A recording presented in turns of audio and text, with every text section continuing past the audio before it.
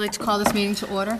In accordance with the open meeting law, I'd like to announce that this meeting is being recorded, and is anyone in the audience recording this meeting? Uh, Hearing none, I'd like to call the rise for the Pledge of Allegiance.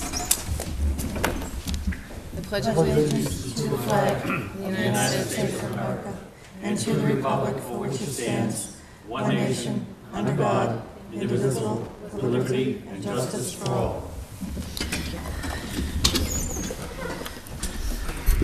Thank you. Uh, The first order of business today is the reorganization of the board, um, given that it's the first meeting after the annual elections. So this is our our procedure. And as such, I would like to open the nominations for chair, and I'd like to ask if there are any nominations for chair. I'd like to nominate Doreen Goodrich again for chair for the upcoming year. Do I have a second on the nomination of Doreen Goodrich for chair? Second.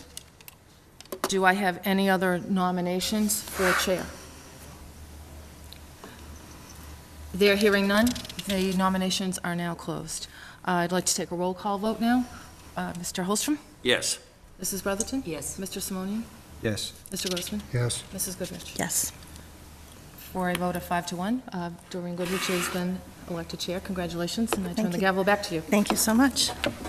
And thank you, board members. At this time, I would like to open nominations for vice chair. I'd like to nominate Bob Grossman for vice chair. Yes? The, um, Mr. Grossman has been nominated and second. Are there any other nominations? I'll close nominations, and I'll call the roll. Mr. Holstrom? Yes. Mrs. Brotherton? Yes. Mr. Simonian? Yep.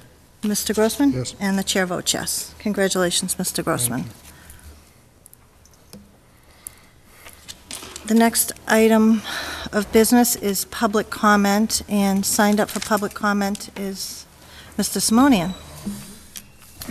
Um, Normally, I would have waited till, till the end, but um, there are some middle school kids who uh, have school tomorrow and need to get to bed. Uh, Just a couple of community things that I wanted to, um, I wanted to bring to the town's attention. Um, This past Saturday morning, uh, there, the middle school, one of the teachers at the middle school, um, Mr. Sean Reed, he's a ELA teacher. He had organized an event, um, and while most people were beginning their Memorial Day celebration weekend, uh, they had a great turnout of about 60 people who uh, ran in a road race that he organized.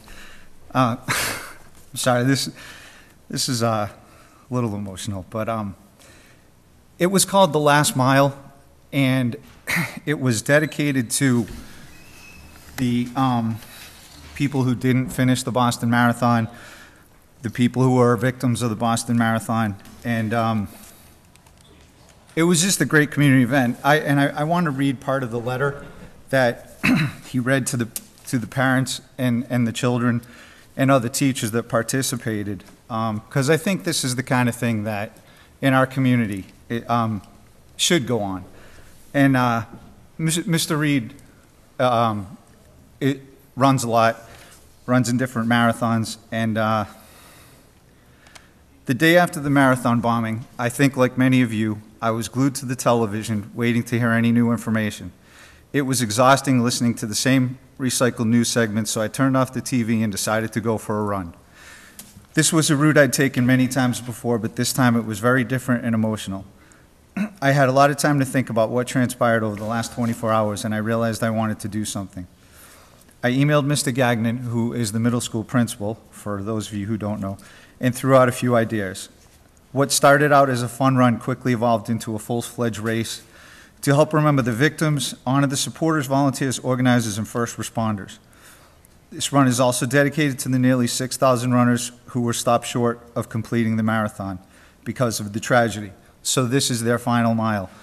And that was what the run was called, the final mile. And I, I, just want to say, one of the seventh graders actually designed a logo, and um, a couple of the people that they thanked was uh, Mr. Joe Estrella, who printed all the T-shirts for the run, and the uh, middle school cross-country coach, Mrs. Murphy, who uh, volunteered her time to take the children out on the course a few times the week before the run so they would know the course and record all the finishers during the day. Um, And he closed his letter. um, So today, when you're out on the course, spend some time in thought. Think about why you're running. Think about those who lost loved ones that day. Think about those struggling to walk again, and think about those who may never be able to walk again. Run for them, walk for them, and when you're done, go back and cheer each other on. Um, And I just, I, I wanted to bring this to the community's attention because I think this was a great thing. It was done within the middle school. Originally, it was open to just students, and then parents and teachers participated, so I, I just wanted to bring that to our attention. And, and the second thing is another community event. One of our Auburn residents, who was one of the 6,000 people who didn't um, finish the marathon that day, Kathy Lutz, um, every year, she, um, she does what she calls the Jules Run, and it's to support, it's a road race to support um, Dana Farber. So um, I have one of the sheets with information I can leave for anyone who wants the web address and to get more information on it, but um, I just wanted to bring it up. I- It was a great event, um, some good community tar- participation, and the kids were really enthused. Like I said, a lot of people are already starting their celebration, and uh, those people came out, gave their time, volunteered, and- and ran that last mile, so Thank you, Mr. Simonian. Mrs. Brotherton? Mr. Simonian, thank you for some positive news. Yep, thank you. don't thank me, thank Mr. Yes. Gagnon and Mr. Reed. Is that it, Mr. Simonian, before I move? Thank you. Um, Next, we have Mr. Michael Wade, who wants to, Lau- Loring? No, zoning, I'm sorry. Mr. Wade? I just spelled it wrong. No, that's fine. Zoning, is that what it is? Yeah, it was zoning. Okay. My name is Michael Wade. I'm a business owner in town of Auburn. I'd like to talk to the, about the zoning board, which I know is appointed by the selectmen, and I think there's some coming up this year. I'm not particularly sure when it's coming up, but I know there's openings there. I think it's, yeah, I wrote down, I think it's two seats are up, and I think judging by what I've seen in the zoning board, and I only know, and I've gone quite a few times, in over quite a few years, starting, I think, from 2000 and, no, I think 95 is when I first started going before the zoning board. You know, I, I, what I see, okay, and this is my personal opinion, okay, I see people that sit on the board that appear to be anti-business, okay, and do it, do, take, do whatever they can to make it hard whenever you go before the board. I've yet to go in there where I go in one time, it's always two, two times, three times, I've gone back as many as four times. You know, you got to remember, business people, you have your lawyer there, you have your engineers there, you have everybody there that you're paying for. And the town needs businesses, you know, in other words, to keep the tax rate for the residents down, you need business, so you have to be business-friendly. And I understand the people on the zoning board, just like all the people on the boards, you also still have to protect the town. That's, that's what they're there for, to understand the laws and that. But it's not to make it hard. If you fill in and meet that criteria, it's not to make it hard and then to joke about it later on, what's going on.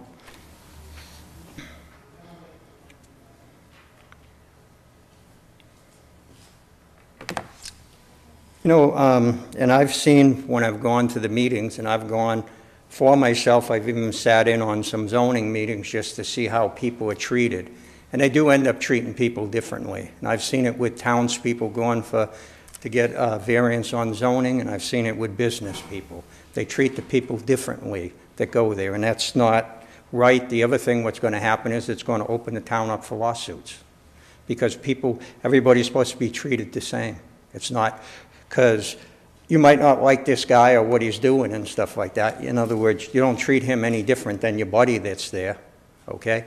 Also, if you have somebody, and I've seen it when somebody might be in a butter, and realistically, they should dismiss themselves, which they do, but they also should not be in the room. They should be dismissing themselves and go outside and not comment on what's going on. In other words, I think that's against the rules of the zoning. And I've seen it happen quite a few times. You know, and the other thing is, is, you know, you can look around, I don't know, if, you know, people complain to the selectmen or who they complain to, you know, town manager or whatever, you know, maybe check around and see the complaints that they've had on different people on the boards. In other words, maybe if you get the thing, maybe it's a time to make a change. I don't know, it's up to you people and that, you know, who gets, you know, appointed on the zoning board. But like I says, I've seen quite a few things, and it gets frustrating after a while. And I know it probably gets frustrating for a lot of people that go to the zoning board. It's the one board I seem to have the hardest time with. And it shouldn't be. People on the boards are supposed to not make it easy for anybody, but they're supposed to obey the laws and follow through and treat, like I said, everybody with respect. And I don't see that. So, and basically, that's all I wanted to say. I don't, I know you guys got a full Yeah. agenda here, and I don't want to tie up anything, but I want to thank you for your time. I Yeah, appreciate and- it. And, um, you know, it, I, I generally don't comment on citizens' comment, but if you ever have a concern, and it would be the same to this board, the planning board, or any other board, if you have a concern, whereas someone should, ha- you felt someone should have recused himself and/or left the room, the, the place for that um, to be addressed is the Massachusetts Ethics Commission. Oh, no, no, I, that I And- understand. Yeah, 'cause no, I'm there's- just, you know, yeah. I mean, we, like, we- e- everyone is responsible for their own ethics issues and, Yeah. and are responsible for calling the Ethics Commission Yep. to see if, if they um, need to take action. So um, if you ever felt that you had a concern, Oh, no, no, you that- could address that. And I appreciate your comments, your general comments, as Yep. opposed to specific board members. Right. Thank you. Thank you. When, um, I can't remember from the last time we did an appointment for the zoning board, but, um, commentary from the public is allowed at. the- Yes, I- yes. I, I would, I would just say, Mr. Wade, if, if you have specific examples, that would be, um, and, and comments that you'd like to make, that would probably be the best time to do it. What's that? I We'll be didn't- making When- when appointments we to do the the- zoning board of appeals Yep. in um, June. And so we do allow, it is on the agenda, and we do allow public comment at that time before we make appointments, and you're welcome to come before the board, and as Mr. Simonian said, give specific examples at that time, but When, i- when is that meeting? um, we'll, we'll make you aware Oh, of oh, that. okay, they'll It's- make aware We of make all the appointments by the end of June. Okay, all right. Thank you, I appreciate it. The next item we have is a public hearing for Cumberland Farms, 502 Washington Street. We have a proposal to replace the existing underground storage tanks with two 20,000-gallon dual-compartment, double-wall fiberglass tanks. Is there a motion to open the hearing? So moved. Second? All those in favor? Aye. Any opposed? The hearing is now open. Good evening and welcome. If you could give your name for the record and tell us a little bit about why you're here before the board.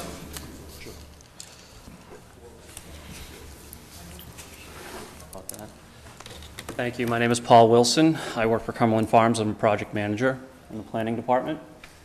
Um, With me, I have Phil Henry, the civil engineer from the Civil Design Group um, for the project.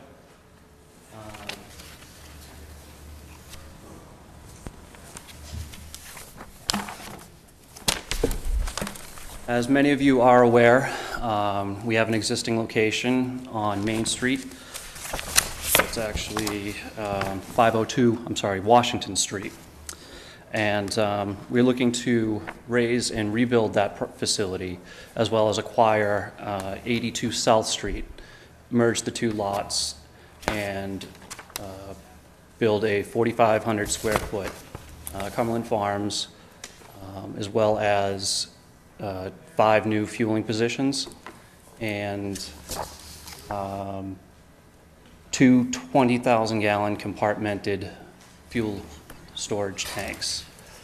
Um, Currently, we have four uh, dispensers, and um, they're in a sort of a stacked configuration. It's kind of hard to tell from this plan, but um, our new plan will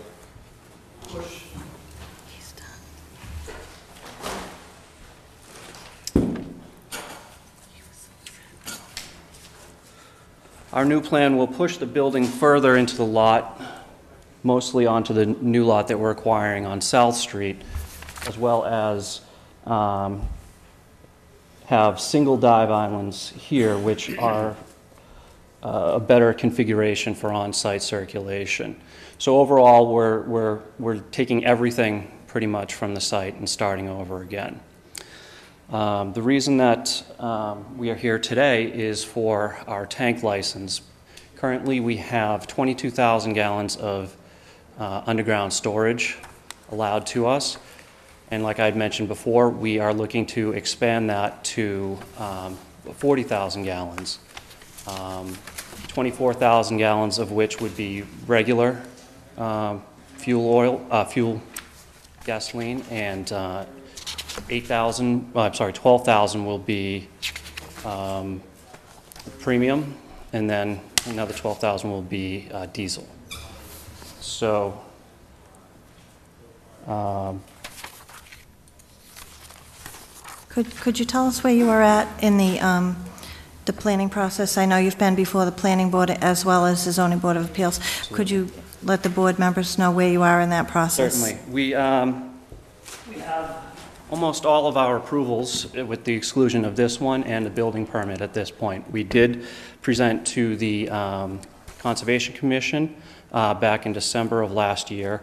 Um, And just as of last week, we did file for an amendment based upon some comments uh, we received from Mass DOT. Um, They did vote to approve the the amendment to that approval. Uh, We have our site plan review uh, approval from the planning board, as well as the ZBA uh, approval for our, uh, our use.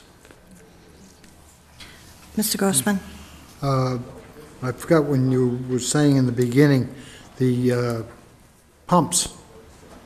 I believe there's going to be, because I watched the, uh, the meeting before the, either the ZBA or the planning board, you're going to have one diesel uh, pump, and the rest, the other nine will be premium or regular? Well, that, that's somewhat correct. One of the pumps, all the dispensers are multi-product dispensers. Um, The one uh, pump farthest from, it's either this one or this one, depending on which one we ultimately choose. Um, This will have not only the regular gasoline, but also the diesel. The rest will have the blending of the regular fuel. Right, So there'll be a total of 10. There will be a total of 10 fueling positions, correct? And, okay, Mr. Simonian? Um, On what we have before us, it says that one of the tanks will be 8,000 gallons of diesel, and you said 12. I'm sorry, I I did misspeak. Um, Right, that that's fine. is- That is, in- I was incorrect. It is 8,000 of diesel and 8,000 of premium. And so the existing tanks are being taken out? They will be taken out. They they were uh, installed in 1994, I believe. Okay. And, And um, it- I, I can't tell exactly from this, if they're going into the same place, or are those are being Um, moved? Roughly the same location, just a little closer toward the intersection. The existing tanks today are somewhere around here, um, and the new tanks will be, like I said, closer toward the intersection, still within any setbacks. So the one that's, cir- the one that's circled in the corner on what we have, that's where the new ones, okay, all right. And um, is, the, uh, you said you're tearing down the building, tearing out the pumps, the tanks. Is all the construction going to be contained to the site? I, the reason I ask is because I know that there's already some issues with traffic at that corner when uh, cars are pulling out onto South Street. So it- ha- has anyone addressed that up to this point? Is there, do you know if there's going to be any issues? Has that been um, brought up? Um, There won't be any sort of massive off-site construction. I mean, we will have some utilities that we have to uh, deal with. Um, But there was, uh, as one of the conditions from, I believe, the zoning board, they had asked us to install a crosswalk here. Oh, okay. Um, So that is really the, the extent of our, above and beyond the utilities, any off-site improvements that we were looking to do. Great, thanks. So, um, uh, members can see in their packet that Chief um, Coleman has signed off on this. I just wanted to let you know that I spoke with Chief Coleman today. He's actually at the board meeting next door, so he couldn't be here today, but he said, um, you know, when you're replacing old tanks, that don't meet the, today's code requirements, and you're meet, and you're replacing them with tanks that do meet the requirements of 2013. That's a good thing, and he fully supports replacing these tanks. Mr. Holstrom? Um, Through the chair, um, these tanks here, they're located closer to the corner of Washington Street and Route 20 now. Uh, Where they're located now seems to be some sort of a traffic hazard, and creates a little havoc there with uh, where those tanks are existing. Uh, The tanks that are going to be uh, located over in that corner, is that going to alleviate some of the traffic when the uh, supply truck comes in? Yes, absolutely, and that's a very good Again, question. it kind of echoes what Mr. Simone said about the, the traffic patterns over there. It is a very, very difficult corner, and, uh, you know, just kind of, with the construction, I understand, but uh, with uh, just refueling the tanks, you, uh, we want to try to alleviate that, too. Understood, and uh, we did take that into consideration with our design. Um, It benefits us to have the tanker out of the way of our customers as well. So um, currently, the tanks are here somewhere in the existing site, and they do get, the when the delivery comes in, the tanker does block a lot of the traffic as well as a lot of our parking. Um, Under this scenario here, you can kind of see the darker line is the travel path for the tanker. And He enters off of Washington Street, uh, positions himself over the tanks here, which are far away from any of the, the main access paths as well as any of the parking. Um, And once he's done fueling, he uh, loops around the, the, the uh, gas and back onto Washington Street. So at no time is he going to be stopping or uh, positioning in any majorly traveled or heavily traveled portion of the, the site. Okay, thank you. You're welcome. Mr. Madam Grossman? Chairman, uh, one question, uh, which people have asked, what is your expected downtime? Um, We like to be as, as, as soon as possible, but uh, realistically, four to six months. Four to six? Um, To follow up on Mr. Holstrom's um, concern, and many of us have heard concerns with the traffic, um, having watched the previous meetings, it's Cumberland Farms' intention to notify all of their vendors not to exit on the South Street It it is. exit, and, it- and you'll notif, and Cumberland Farms will notify all of their vendors to exit on the um, Route 20? Correct. That is a part of our condition of Exit. approval. Okay. So we must Okay, adhere so- to that. So that will address some of the concerns with the traffic, that all of the vendors, whether it be bread vendors, um, soda vendors, the trucks coming in will um, enter and exit on the Route 20 side. Are there any more board member comments or questions? Is there any public comment on this? Did you have anything else before we close the hearing? I do not. Okay. Motion to close the hearing? Second. All those in favor? Aye. Any opposed? So voted. Is there a motion regarding the application? Make a motion to approve the request provided that all applicable requirements of the state and town, any of its departments, boards, and commissions have been fulfilled. Said license is subject to all the conditions stated upon it. Failure to comply with any and all conditions shall invalidate the license and render it null and void. Is there a second? Second. Any discussion on the motion? All those in favor? Aye. Aye. Any opposed? So voted. Thank you for coming in. Good luck. Thank you all.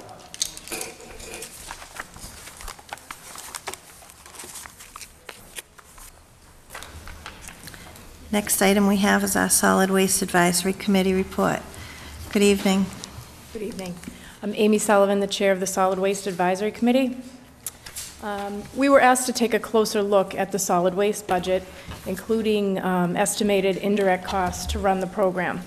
So we had um, many meetings and many discussions about the budget, and um, we have, based on several factors, we are supporting a fee adjustment at this time. The three main reasons are, there has no, there has been no fee increase in the trash and recycling collection since 2004. So the, the fee has been the same for almost 10 years. Um, The cost to dispose of trash at the incinerator, the Wheelabrator, has increased by $2 per ton. Uh, That was since January 2012. So we're currently uh, paying $74.01 per ton. And in 2012 alone, that was almost $9,000 additional for the disposal. Um, Our hauling contract includes an increase each year. It's approximately 2.25%. Uh, That represents an annual cost of living increase for the drivers and an annual increase to pay for the cost of the new brown toters that we got um, in 2010 for the new two-car program. Um, Do you want me to continue? So we do not support anything higher than, um, it's approximately, it ends up being approximately 12.5%.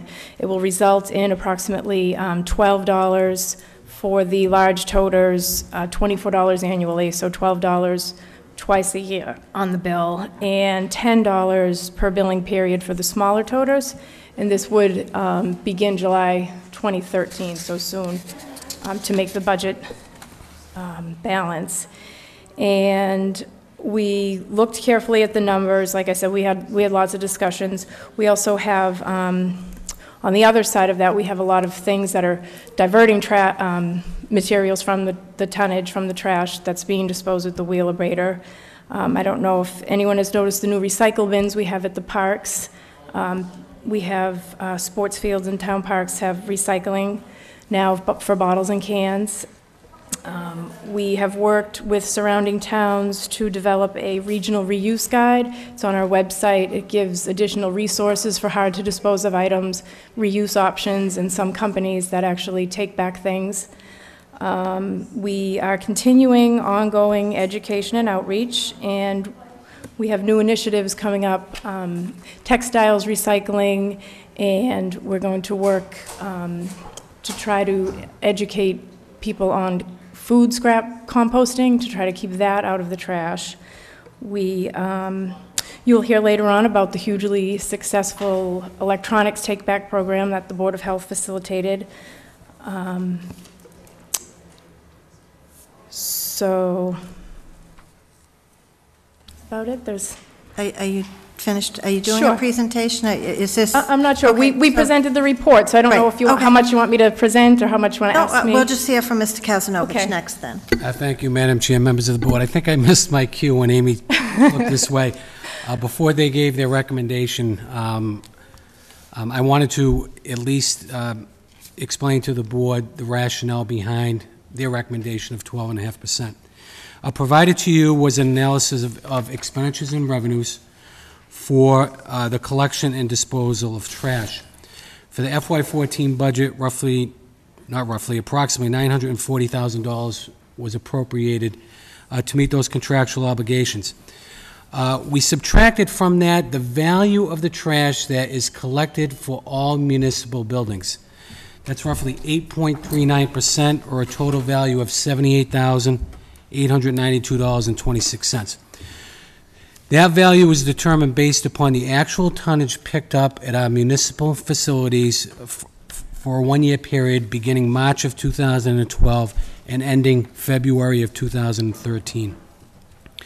In addition to that, the town hall personnel uh, and support costs, in order to uh, support that activity, is $218,555, as identified up in the left-hand corner of the page bringing total cost to support solid waste collection and disposal of $1,079,975.76.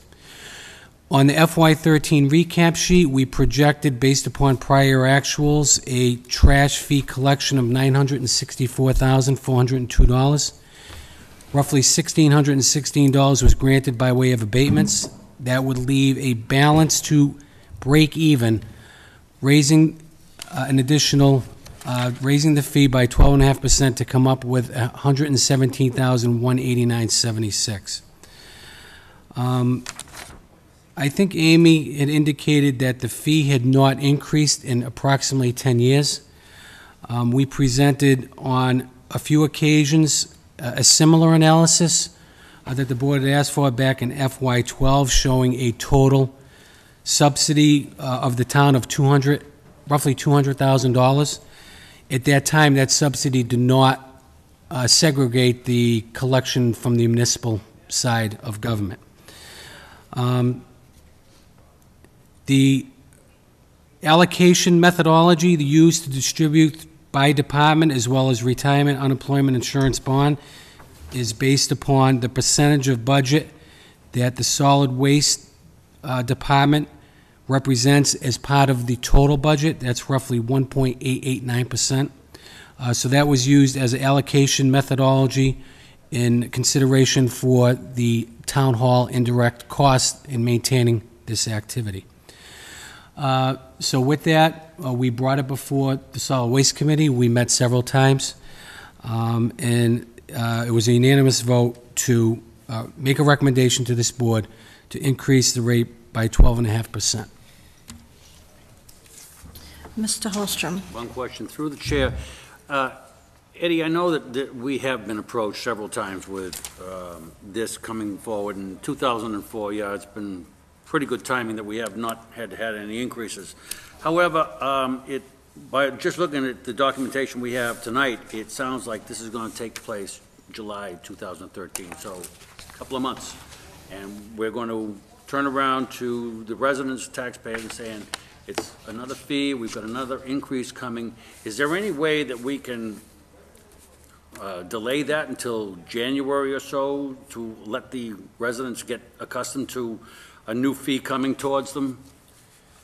Uh, Through the chair to Mr. Holstrom, we could do that, but that would mean roughly half of that 117,000 we would have to find as another revenue source to make up that loss.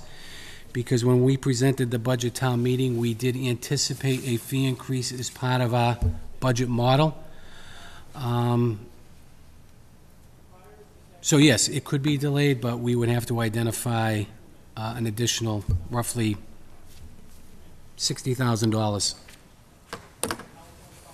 Uh, The, uh, the uh, thing I'm just thinking about is some of the um, senior residents that, uh, they are on fixed income, and they are probably budgeted for this year, and now to have that additional, it is it's twelve dollars for the, the first portion of it. I can understand that, but uh, that twelve dollars for somebody that's on a limited budget uh, can be kind of uh, disheartening, and they want to be sure that, uh, you know, we can, if we can handle that, I'd like to uh, delay that one way or another, or let the residents know one way or another that that's coming. Uh, Through the chair to Mr. Holstrom, um, as part of the budgetary process, we try to do a analysis on all of our fees to make sure that we're recovering 100% of the cost to support that activity, whether it be Sewer Enterprise, whether it be trash. Um, By not raising the rate, uh, that additional burden is assumed by the taxpayer of Auburn. Um, And they may not be getting the benefit of a trash collection program. Uh, But certainly, those dollars have to come from somewhere if the fee is not covering the cost to support that, Okay. that activity. Thank you. Mr. Simonian?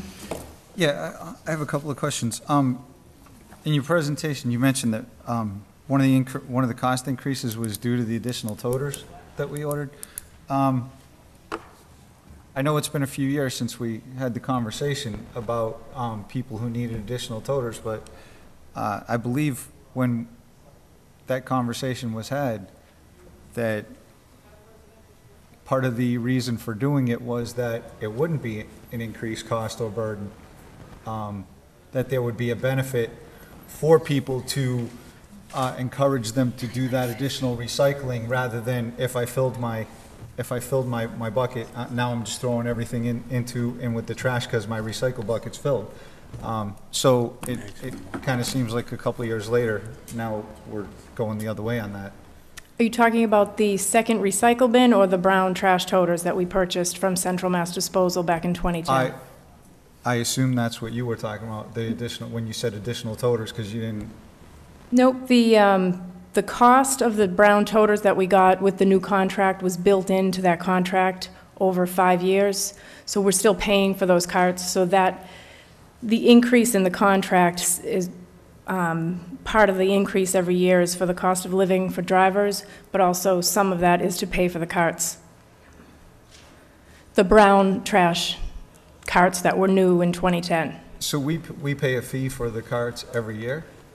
Well, we spread it over five years so that it wouldn't be, it- they were very expensive, so we spread that over the contract, over the life of the contract for five years. That was how it was written. That's what we were asked to do back in 2010 when we were looking at, you know, what the contract fee would be with Central Mass at that time.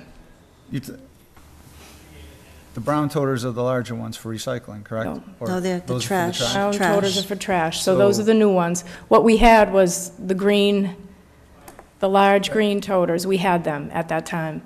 We purchased smaller ones for the trash so that the, the two-cart um, system would work with single-stream recycling. Okay, right, and that, so, that's, that's, that's exactly what I thought, because part of that discussion was, we were going to the smaller trash bin because people seemed to be buying into the single-stream recycling, which was supposed to save money, and if they were doing that much recycling and needed a second toter, that it would ultimately save us money, not cost us more. And it has, and it has. Our trash tonnage has gone down significantly.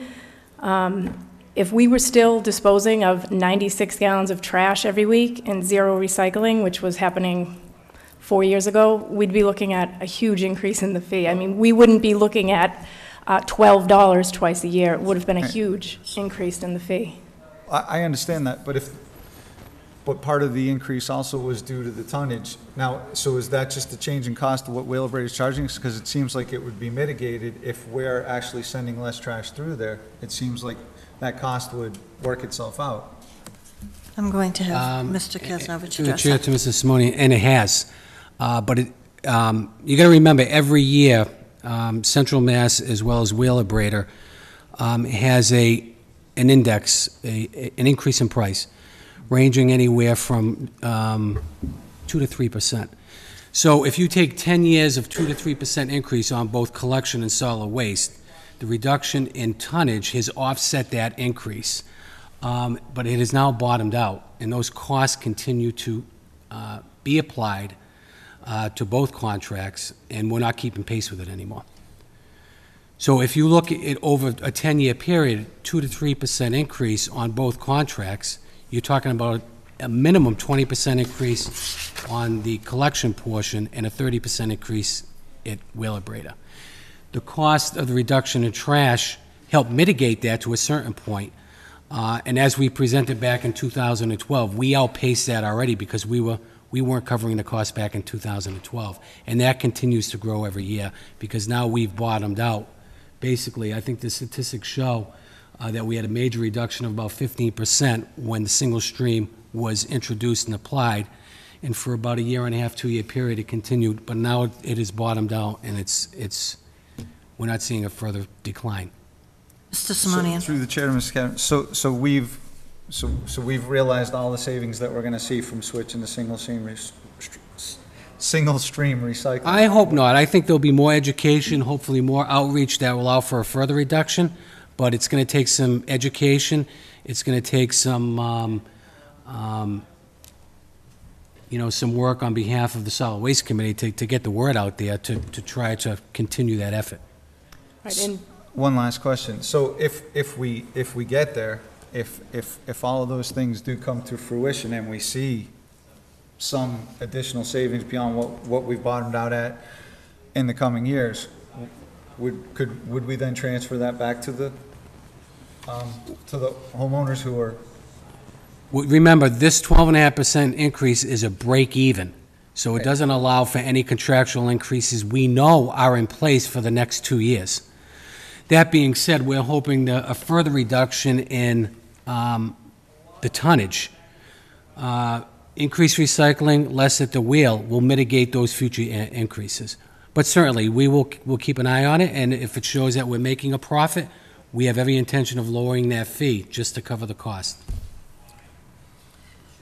Mr. All Simonian. right, last question then. Um, So, kind of on, on the point that Mr. Holstrom made, um, and, and I know that it's not always easy to do, but if we, as, as you said, o- over that two-year period, we, we realized we were, we seemed to be bottoming out um, on that savings that we, was talked about. I mean, that was even, I think, a year or so before I first got on the board. Um, Maybe, you know, that kind of thing would have been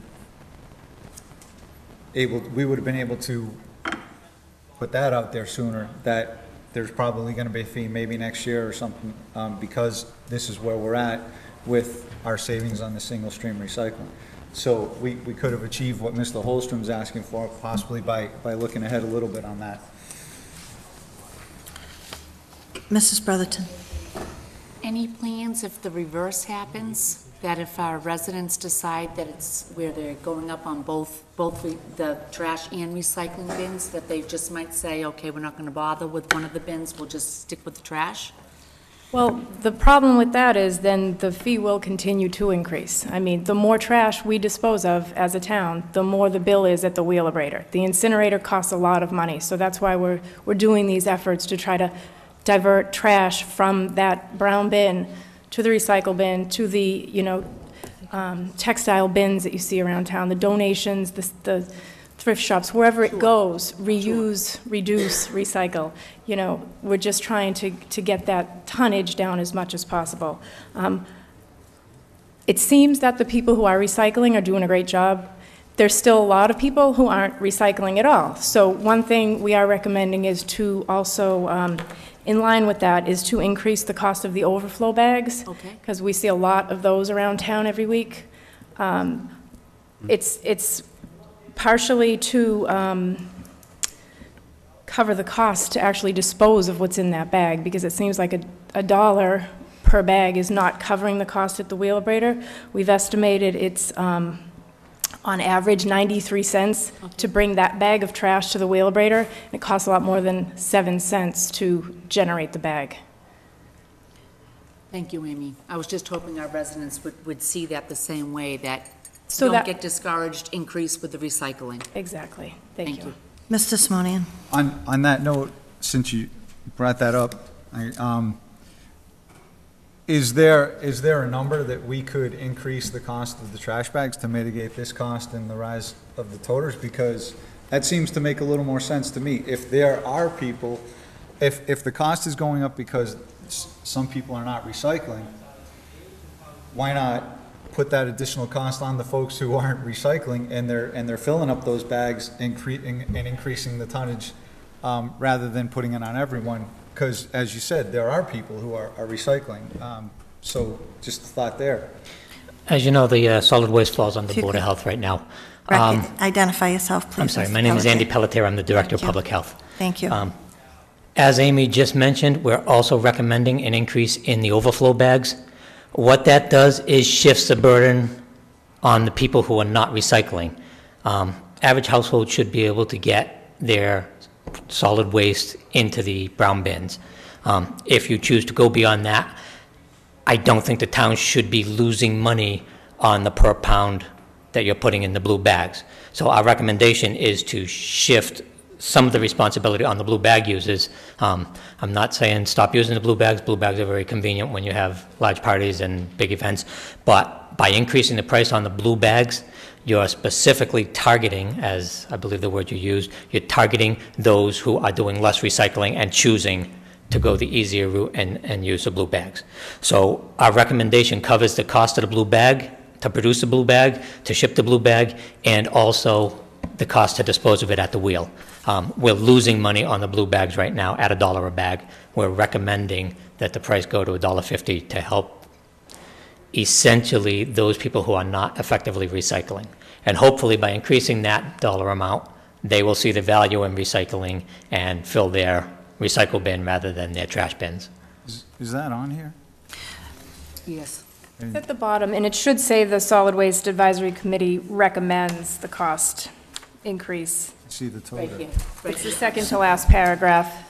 Oh, mine got separated. So I have, um, I have a follow-up for either Mr. Pelletier or Amy. Um, on the blue bag, on the blue bags, have you, you know, and I know it's difficult to track, have you ever done a study or tracked the blue bag usage? I mean, is it people consistent, consistent, consistently, sorry about that, using, um, the blue bags? Or is it completely random, people having special events, holidays? I mean, I, I would think that It's the kind of- average homeowner isn't using blue bags for, you know, week after week. It's, Sometimes I'll drive the trash routes before the trash trucks do, just to see what's going on out there. And consistently, I see blue bags at the same houses every time. Do. Other times, um, following a holiday or something, I see blue bags outside that I didn't normally see. I mean, I can't sit here and dictate, I'm not so familiar with the routes that I can dictate which houses and, but it's, it's a combination, but there are multiple houses, and I'll use the word multiple rather than some. There are many houses that consistently have blue bags outside. So I just want to be clear, does this proposed um, increase on the blue bags cover the cost? It covers the cost of the blue bags. It does not cover the $100,000 deficit that Mr. Kazanovich has referred to. I understand Um, that, but- If it, we, we basically tried to identify the cost per pound based on 74 tons, I mean, $74 a pound at the wheel, and that's this year's number. Remember, it's going up next year and the year after. Um, Based on $74 a ton, I think it came to 72 cents for a bag. Assume, assuming that a bag can hold approximately 20 to 25 pounds. Um, It comes to 93 cents.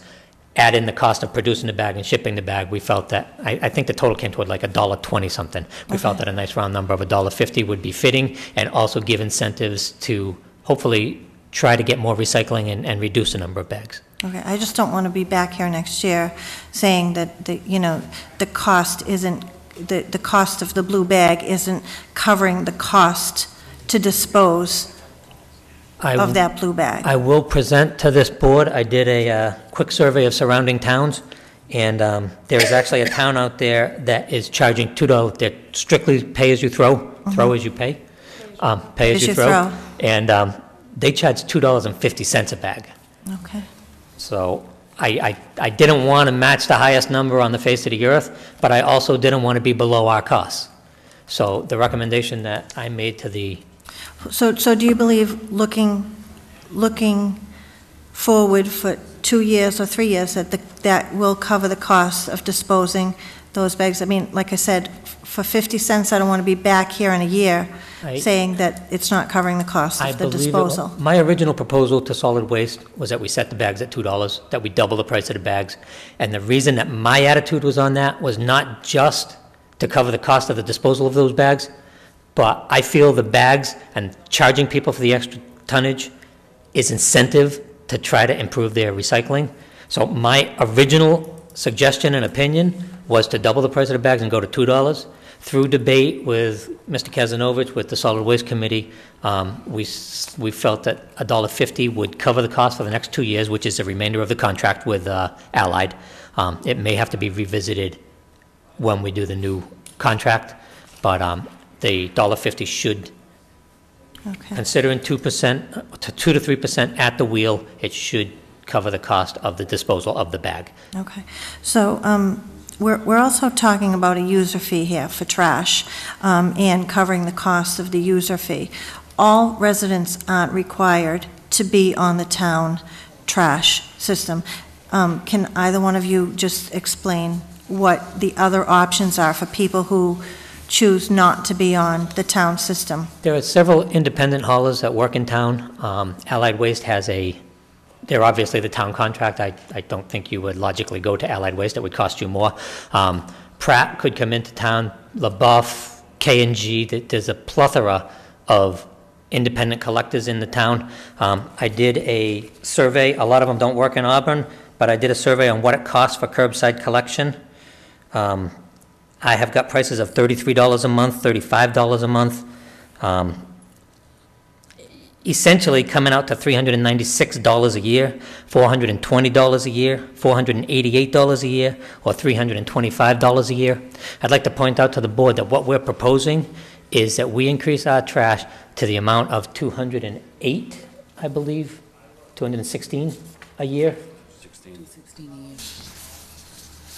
It's $25, $24 plus what we are paying now, so it's um, 90, 9,200 and, well, huh? 260. 216. 216 is still a full third to almost a half. Um, One town is paying 488. Other towns that are on contract are paying close to what that is, $207 a year, $312 a year in, in one town that's on a strictly pay-as-you-throw. Um, Again, the town is charging 250 a bag is $520 a year. If you, if you, if you interpolate that the containers can hold approximately four bags, and obviously I have to assume that we can fill to capacity, we're allowing them 65 gallons. So I, the assumption is that four dollars, I mean, four bags will give you the 65 gallons approximately. Um, The town that's charging 250 a bag, is giving you a capacity, equal capacity that Auburn's giving you, they're charging $520. Well over twice what we are suggesting. So if anyone, just to go back to my question, if anyone has an, an issue with the proposed fees, again, they're not required to be on the town system. What is the process? Do they, if they have a private contract, do they- provide proof to your department that they are legally disposing of their trash? I guess that was my question, that people aren't required to use it, but they are required to sh- show that they're legally disposing of their trash? There's a form that would have to be filled out from the assessor's office. Um, It is a alternate disposal form, and if they fill that out and sign it, it's signed under penalties and penalties. So uh, we don't go looking for proof that they're, that they found another one, but if they state that they are, uh, made a contract with Casella for curbside, um, or they dump it at their place of business, um, we accept them on their word. Okay. Um, We are very attentive to illegal dumping, and the fines, if we catch somebody doing that, are significantly, or will be significantly higher than the cost of having curbside pickup. Okay. Mr. Simone had something? Yeah, I, I want to go back to this, um, to the, to the bags for a second because, and, and I don't want, I don't want to use the word target because i- i- it's not about targeting anyone, but I do think that, I, I do think that there should be some accountability and responsibility within the community. And you had mentioned, um, two dollars per bag instead of a dollar fifty, so I guess my question is, if we went to the two dollars instead of a dollar fifty, could we then not increase the cost of the toters as much as what's proposed here. Because again, I, I go back to, as you said, you drive the routes, there are specific residences that are constantly using the blue bags week in and week out. I think that you should bear the responsibility for that choice not to recycle, eh, rather than the whole town bear the responsibility. So I, would be more in favor of increasing the cost of the bag, because I, th- I think your point is well made about you know, it's a clear message that, you know, there is a cost for not recycling because the town has a cost for not recycling. Um, and put less of the burden on everyone else overall and more of the burden on the habitual users of the blue bags. Because I know, I- we, I, I probably use them twice a year. And that's, and that's probably once in the summer and, and around Christmas time. And, and you kind of alluded to that, that there's people use them here and there. And, and I think Mrs. Goodrich also kind of made the same point. So that's just my thought. If, if we could increase the bags to two dollars and it's specific to that group of people who are constantly using them and, and not as much on the overall population of the town, it seems to me to make a little more sense and put that responsibility on the folks who are using them all the time. The original mission that I asked the Solid Waste Committee to look at was to identify ways to either reduce costs or to increase revenues to cover the $100,000 shortage. Um, Through that, we did have a discussion regarding how much we could recoup from bags, um, and Mr. Kazanovich can, can confirm this, but I think our revenues on bags are in the $15,000 range. Even if we double that, we're already 100,000 but down every year. If we double it, we can project that we'll get an extra 15,000. We're still going to have to look at the tonnage because that will just bring us down from the 117,000 to 102,000. We still have to look at that deficit. No, I understand that. I'm just saying, would the, the cost of the toters be less if we went up to that two dollar fee? We might Mr. be able to shave. Mr. shave. Kazanovich is going to Oh, I'm sorry. address that. Yeah, uh, Thank you, Madam Chair. Um, First of all, we- we did consider that, quite honestly. We had a lengthy discussion about that. Um, And quite honestly, the revenue that would be generated, even at a dollar fifty from a dollar, uh, would be no higher than $5,000 per year. Um, The $15,000 collected for the previous year was a three-year high. If you looked at the average, it averaged about 7,000. So fif- if it went up by a dollar, you'd get an additional roughly, on the average, $7,000 as an offset to the 117. You're still talking in the vicinity of 12%, even at 12.5%. We thought by increasing the bag fee, we could use that additional revenue as an offset to future year increases at the wheel, as well as um, um, Allied Waste. That's not even going to cover the, the cost of, of doing business the next year when they're increasing at a level of 2 to 3%. Um, So it, it's, I know it's, it's, it's meaningless in terms of total dollars, um, but we did consider that, and, and quite honestly, if it does go up by a dollar, it's, it's not going to do much by way of, of, of uh, that increase of 12.5%. The other benefit to using that, or to increasing that, is the extra monies could conceivably be used to buy the additional toters for recycling that people can request. Um, We are constantly looking towards the general fund for that money, and that's not really where it should come from. The solid waste program should pay for itself. So hopefully, we'll be able to generate some revenues to buy the, if, when people want a second recycle toter, we always encourage additional recycling. So if you're blowing out your recycle toter, we want to have the availability to give you an additional one to help increase the tonnage of recycling and thereby hopefully decrease the tonnage of solid waste. Mr. Grossman? Yes. Uh, The recycling uh, trash bins need to be closed.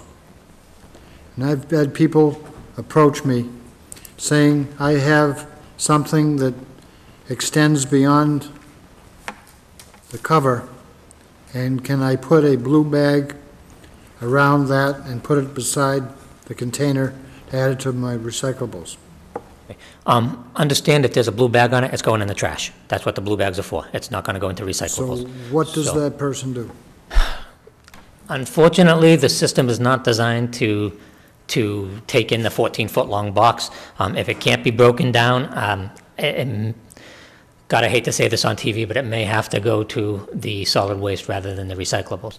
If there's a bag tied around it, it's going to be thrown into the trash truck. That's what the, that's what the dollar and hopefully dollar fifty allows the person to do, is to add trash tonnage beside their trash.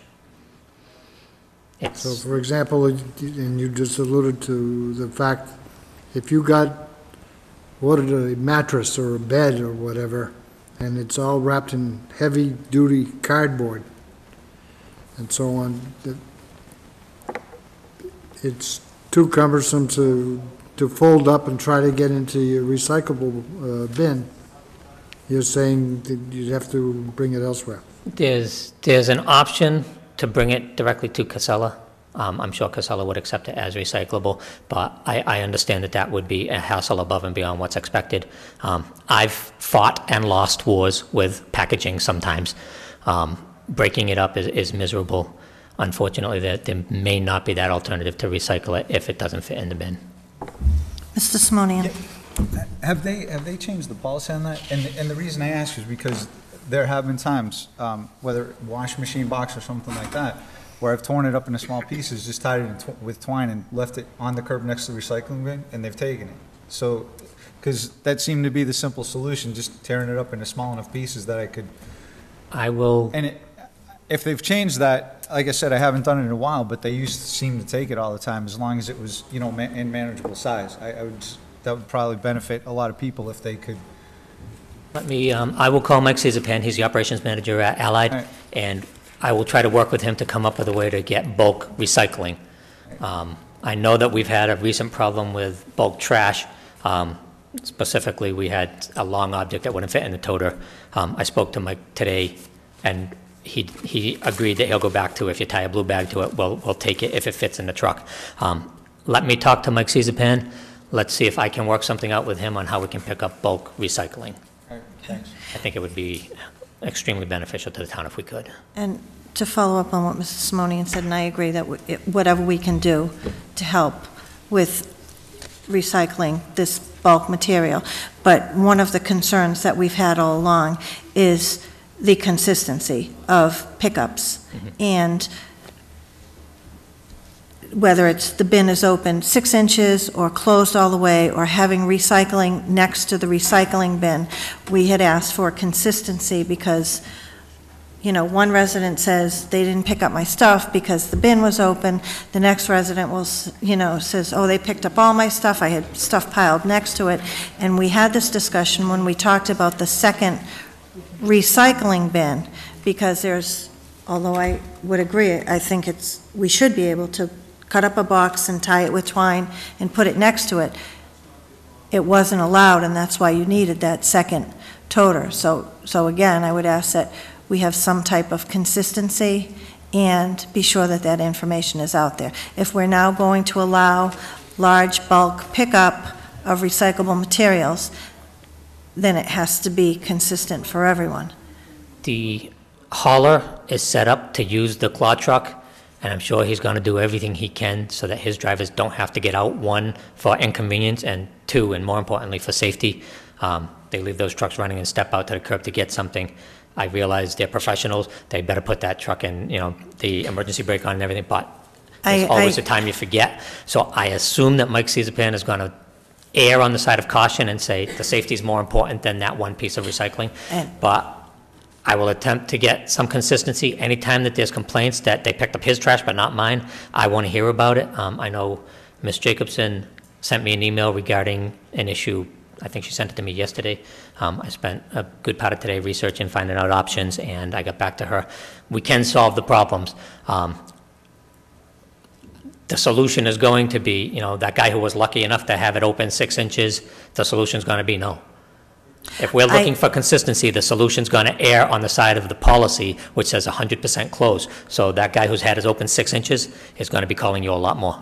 And I, I would agree with you, and that, and that's my concern, that, that we need to have consistency amongst the drivers, and, and, that, you know, the residents who, who are doing a lot of recycling, who have, who have been proactive and got, come up to town hall and gotten that second recycling, recycling toter, now, you know, and being sure that everything is in that toter, now we have residents who, who may be Correct. putting things next to it. We, we just really have to have consistency. Right, the policy is, it's got to be in the toter, and the toter has to be closed.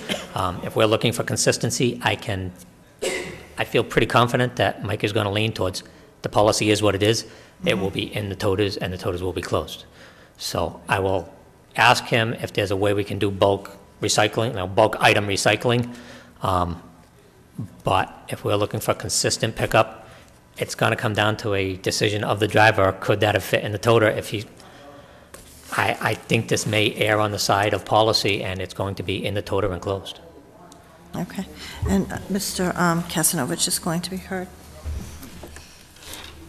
Um, I just want to remind the board that um, previously they had asked for information relative to cost. Uh, We had provided to the board prior to tonight on two separate occasions uh, a similar analysis with charts and graphs over a period of time um, that actually showed uh, the level of commitment relative to uh, collection and um, disposal, as well as uh, a recycling analysis when we went to single stream and the dip that was generated as a result of that effort.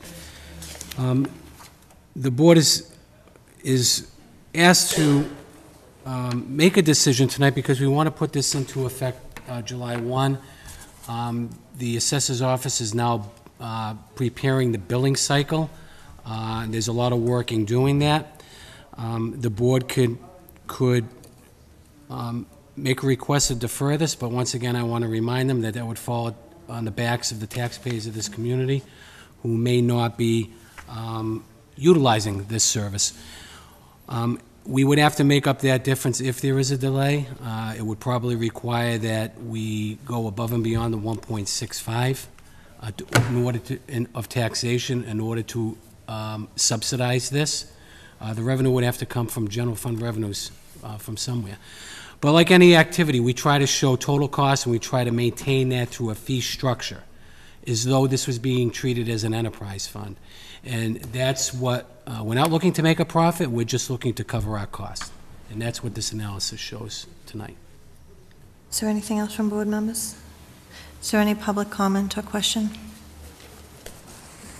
Um, We've talked a lot about extra recycling containers and everything. I want to make a statement now, take a half a step backwards. At the moment, the town doesn't have any extra ones. I am in the process of finding what monies we can to order some, and my prediction is we will have some soon after July 1st. So we'll be, if people are looking for a second recycle container, we should have them soon after July 1st. And as with the last go-round, Do you have a wait list for those? We have a very short wait list. I believe Mary in the assessor's office has probably four or five waiting on them. So they'll I'm call, hoping to get about 20 of them. they'll call the assessor's office? Yes, it's To set be put on a assessors. list for the new, um, rec- you know, Uh, A second se- recycle. a second Yep. recycle bin. Mr. Bonifilio, did you want to be heard? Please. Hi, Jim Bonifilio, I'm a member of the Solid Waste Committee. Um, Just, just to clarify what the charge of our committee has been since I've been on it, which is over 10 years. The fees were always based on collection and disposal. That was it. That was the budget for the solid waste, was just based on those two factors. That's what we based the fee on. This year is the only year we have considered the indirect costs.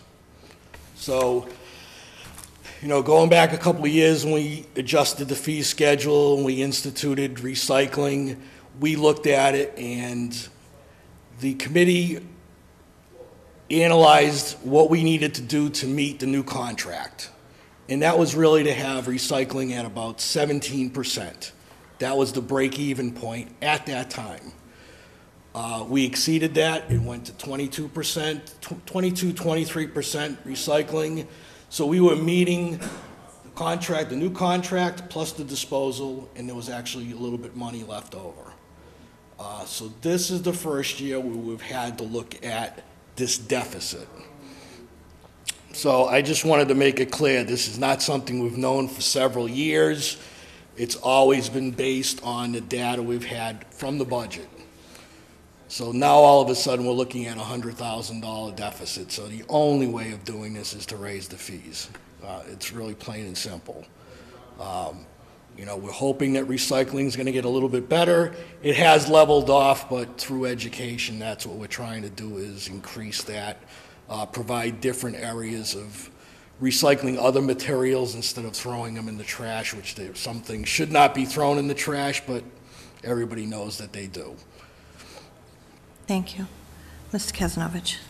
Um, Thank you, Madam Chair. Um, We did provide this analysis that did show the indirect costs that previously went to the board. Uh, This did go to the Solid Waste Committee before. We did have this discussion about a year ago, uh, when those numbers were first uh, compiled. Uh, A decision at that time, uh, well, there was no decision at that time as to a um, a fee increase.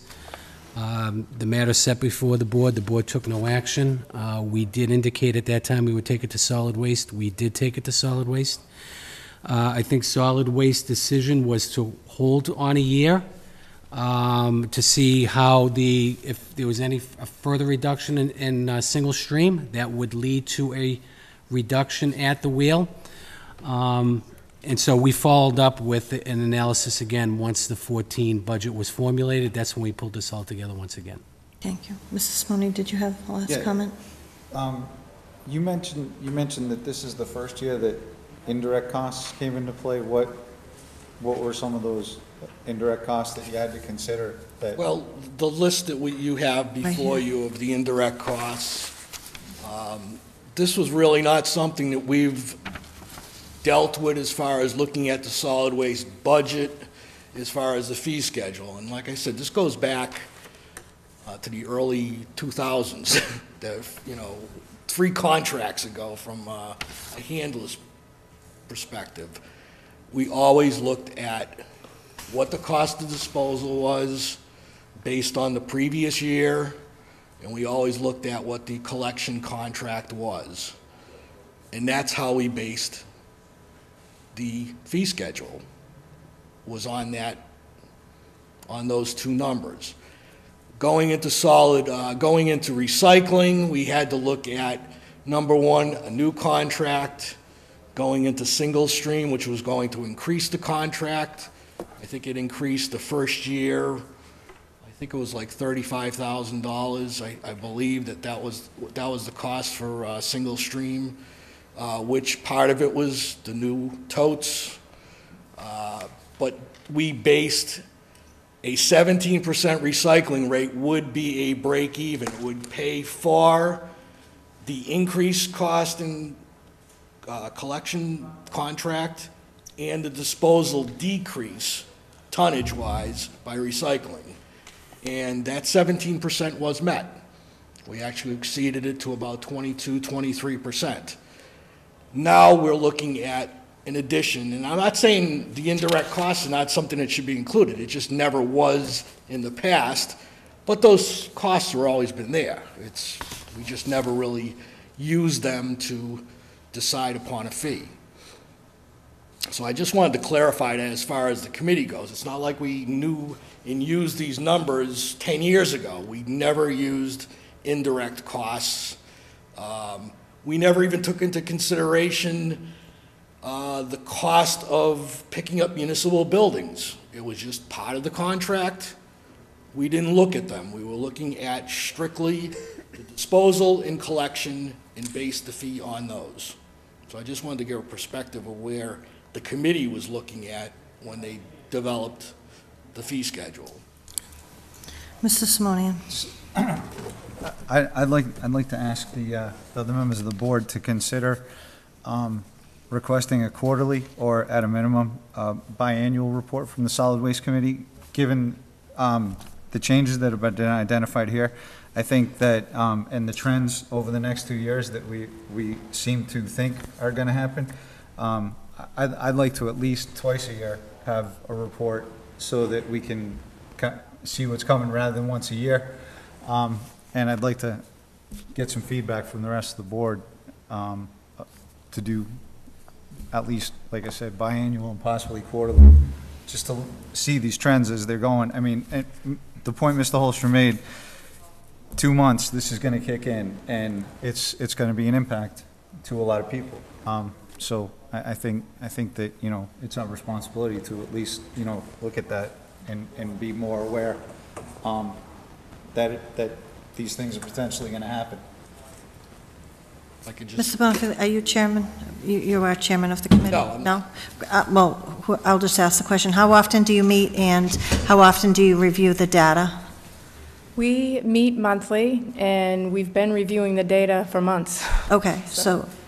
Pretty but much you once a meet month. Monthly, so, so it wouldn't be unreasonable to prepare a, a twice? If we know annual? exactly what you're looking for. Okay. Mr. Madam Chair, Grossman? this, this report was actually based upon data supplied by the Solid Waste Committee over the last year. Okay. Mr. Grossman? Yes, uh, we're billed uh, twice a year Mm-hmm. now, so if we were to get a report twice a year, that would be in sync with the billing cycle. If we, Makes if the sense. board so chose. Okay. Well, I have just one concern. In, in what you're proposing, uh, uh, contract runs until June of 2015. Uh, Right. You feel that uh, the rate that we're, that you're proposing is going to keep us on the uh, top side? It's hard to say, because we can incur another increase at the Wheelabrator next year. They could increase that fee up to $3 a ton, so we don't know. It's not in our control. Okay, so there's, there's no leeway in, in what you're proposing. It's only to cover where we stand right now.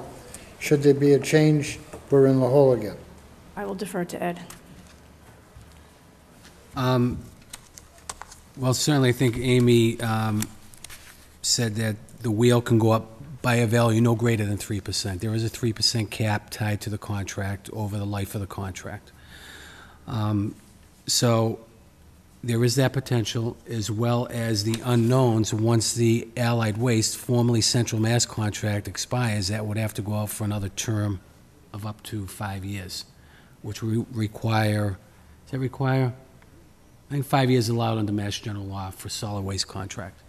One of a few, uh, without. I thought it was three, and a town can extend up to five and then extend Okay, again to We'll have to take a look at that, but right now, we had a five-year contract with Central Mass uh, and taken over by Allied.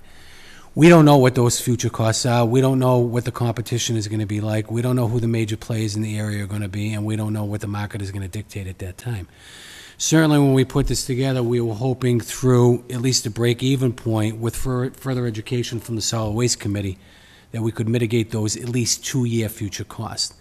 So this is something that we're committed to presenting on an annual basis based upon the most current data to show you where we are. We prepared to uh, take action on this? Make a motion that we uh, get a um, a biannual report from the Solid Waste Committee, and uh, so we can uh, monitor uh, the fees. Is there a second? Any discussion on that motion? All those in favor? Aye. Any opposed, so voted. Is there a motion regarding the request from the um,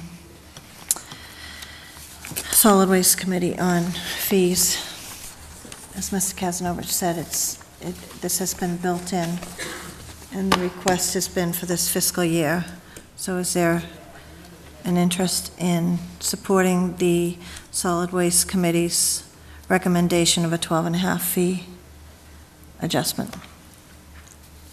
I make a motion that we accept the proposed new rates, $216 for the large toter, and uh, for the small toter, $176, which is the 12% increase And the blue bag fee, of a dollar and fifty cents. is there a second? Second. Is there discussion? All those in favor? Aye? Any opposed, so voted. Amy, just, um, y- y- you know, certainly we'd like to see you look to um, increase the recycling, and if you have, you know, a recycling campaign, if there's anything that this board can do, if you want to come in and do a presentation, or if there's anything that this board can do, you know, so you have an audience, um, we we really would like to be a part of that, you know, promotional campaign to increase our recycling. Okay, and certainly use the website, use the um, town website, the state DEP has a lot of information on their website. Email me, a lot of people have emailed me with um, specific questions, and uh, it really is up to all of us to reduce and reuse and recycle as much Yeah. as possible to keep that fee down. Yeah, and it was, when it was new, people were excited about it, and, and I think that we've gotten complacent, and that's why I think if we kind of do a, you know, a recycling, m- more recycling campaign, um, we may remind people that it's a good thing to do. Okay. Thank you for your Thank you. presentation. Thank you, everyone, for Thank you very being much. here tonight. The next agenda item is a letter from the Massachusetts State Lottery Commission, Keno to Go, Honey Farms, number 17, 714 Southbridge Street. In your packet, you have a letter. Um, The only action that the board would need to take is if we object to um, the offering of a Keno monitor at this location. Um, We would have to send a letter within 21 days. Do any board members have any objection to this? Mr. Holstrom? I have uh, one comment. um, From May 7, 2013, this is the document we received in our packets. Um, We have the name of the applicant, and the address is 20 Lynn Street, but I don't know where Lynn Street is. And I think we want to complete that document and be sure that we have all the uh, pertinent information. This is different. It's a different, But what I'm saying is, the name of the applicant and the address on the top is 20 Lynn Street, but it does not give us a town. different agenda item. I'm on the Keno to go. I'm sorry, I'm sorry. This is the, Thank you. I was putting the two of them together. Okay, that's okay. So um, do any members, board members have any objection? Hearing none, we we we will take no action on that. Under Board of Selectmen items, we have a common victualer's license for Tutti Frutti frozen yogurt. In your packet, you have the application and comments from the DCG. Is the applicant here? If you could come up to the microphone, please, give your name for the record, and tell us a little bit about um, your proposal before the board. Yes, my name is Durrani. I'm here on behalf of Tutti Frutti Self-Serve Frozen Yogurt, which is a family-owned business right now. Uh, It came out from California. Um, We're looking forward to expand into Massachusetts. I'm one of the manager at the Pheasant Lane Mall, which is located in Nashua, New Hampshire. We currently have four locations in New Hampshire, um, and they're only in the Simon Mall. This is the first Tutti Frutti frozen yogurt that we are trying to open in Massachusetts. I am here today to try to get licensing for our business in the Auburn Mall. and I'm really looking forward to do business with you guys here. And I do have a few copies of our plan. I don't You know if you guys want any. Give them to Sharon, and she'll pass them down to us. And uh, the lease that we're about to sign with the Auburn Mall is going to be a 10-year lease.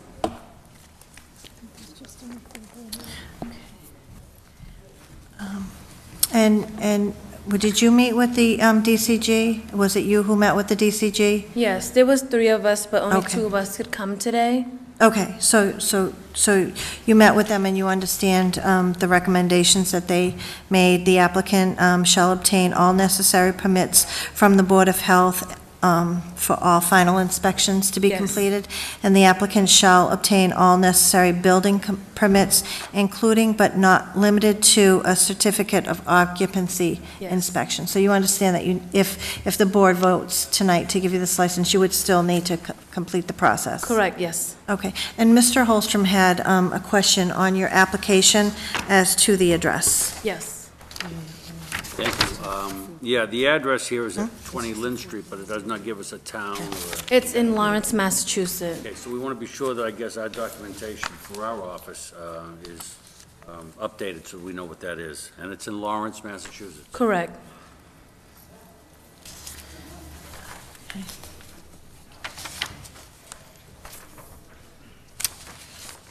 Thank you, Mr. Holstrom, for catching that.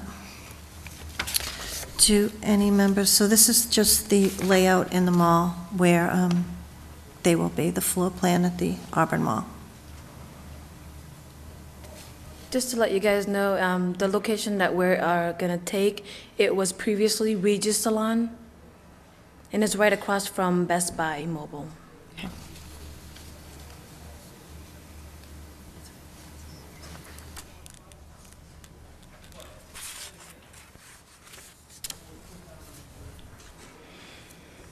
Mrs. Brotherton?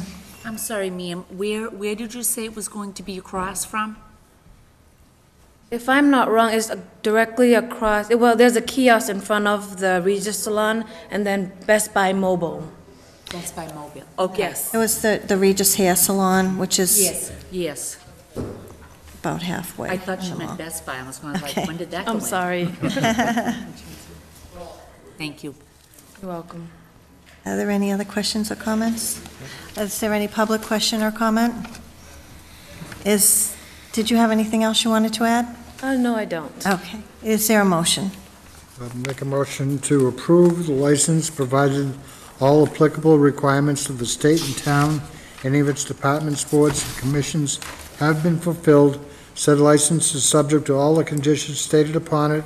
Failure to comply with any and all conditions shall invalidate the license and render it null and void, with, and with the conditions of the D- DCG. Uh, is there a second? Second. Is there any discussion on the motion? All those in favor? Aye. Any opposed, so voted. Good luck with your Good new luck. business. Thank you very much. Thank you. Sorry, silly question. So where do I get the license paper and all that? Or do I just continue on with what I'm doing? You, The next building. you're going to go to the, to the next small building, the um, manager, Board of Selectmen building. Okay. It's. Is it's it the- open now, or do I have to go No, back tomorrow? No, tomorrow. Okay, thank you very Okay. much. Thanks for your time. Thank you. Eight to four. The next item we have is gift acceptance, and we have to the Town of Auburn from the Friends of the Pappas Recreation Complex. Um, And I'd like to read the letter. Dear Auburn Board of Selectmen, on behalf of the Friends of Pappas Recreation Complex Corp., I would like to donate a check in the amount of $5,230 to the Town of Auburn for the purpose of funding engineering work performed by Leonard Engineering relating to the permitting process for a proposed playground at the Pappas Recreation Complex.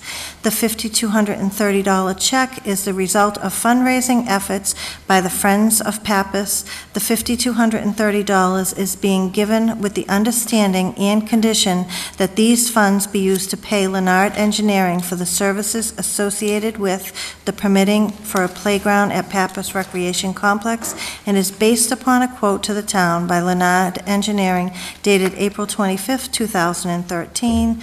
The Friends of the Pappas Recreation Complex Complex is a 501c3 corporation, and its sole purpose is to help raise funds to help the town further develop the Pappas Recreation Complex. Mrs. Jacobson. If I may, through the chair, I just want to make a, a point of thanking the Friends of the Pappas Recreation Complex for all the work that they've done. They were invited to come tonight. Unfortunately, they couldn't come. We tried to find a date where they, someone could be here, but we wanted to make sure that we were able to get the check deposited. So I promised them that I would just make a note that, number one, they wanted to be here. They had another event that was going on tonight and couldn't make it. But they've just done a great job with fundraising on behalf of the Pappas Complex. And this is going to be the piece that will enable us to start with the um, engineering and design work that needs to be done. So we're looking forward to working with them. Uh, Bill Coyle, the DPW director, has done a great job working with the Friends of the Pappas Complex, as well as uh, helping them through the process relating to what's the best route for doing this. And this was the best route for, ha- to have them donate the money uh, to the town and then have the town enter into a contract with Leonard, because the property is town-owned property, even though the playground will be uh, privately financed through a fundraising efforts. And uh, just a reminder, there is a challenge grant that's been out there from the uh, Pappas family, from Dr. Martha and Dr. Arthur Pappas, and I believe that expires March of 2014, and they will match up to, I believe, $100,000 in funds uh, that are raised through the community. So just a reminder that that is out there for raising money for the playground. And any questions, I believe the Friends of the Pappas Recreation have a website and everything's on there, and you can always contact Town Manager's Office and we can provide information, or DPW, uh, Bill Coyle. Is there a motion? I'd like to make a motion to accept the check for $5,230 to the town of Auburn from the Friends of Pappas Recreation Is there- with gratitude. Is there a second? Second. All those in favor? Any opposed? So voted. Next, we have um, for the Fire Department gift account from Donald, um, Donald E. Anderson in the amount of $100. Is there a motion? Motion to accept with gratitude. Second. All those in favor? Any opposed? So voted. We also have um, two, two gifts to be used for the Purple Heart Fund. The first is from Gail Holloway in the amount of $25, and another gift in the amount of $100 from Martha Enman in memory of Albert Enman. Is there a motion? Motion to accept with gratitude? Is there, all those in favor? Aye. Any opposed? So voted. And I see, um, before we move on with the agenda, we have some people sitting in the audience with agenda items. If, I would entertain a motion to move up a couple of the town manager items, the first being A, I'm sorry, 8B, notification of bequests to the fire department and the library. Motion to move up agenda item 8B? Second. All those in favor? Aye. Any opposed, so voted. Mrs. Jacobson, I see we have some people from the library and the fire department here regarding this item. Through the chair, and I will uh, turn this to Ed Kazanovich, also as the CFO. He's done a lot of work on this, but we're uh, very happy to uh, notify the board that we received two uh, um, sums of money that were bequeathed to the town from the estate or the trust of Norma Card. And it was uh, specifically funds for the fire department and for the library. And Mr. Kazanovich Kazanovich and myself have met with the library director, who is here t- this evening, uh, Diane Ramsey, as well as the chairman of the board of the library trustees, and the vice chair is here tonight, um, Bobby Baker, as well as the fire chief, to discuss how we could best utilize these funds. So I'd like to turn it over to Ed Kazanovich. Uh, Thank you, Julie. Um, I'd just like to inform the board that we received two equal amounts, 120,800 and change, uh, which we received uh, last week. Uh, up- Upon receiving uh, the check, we immediately had discussions on uh, what to do with that. Uh, It is unrestricted, um, as far as we know.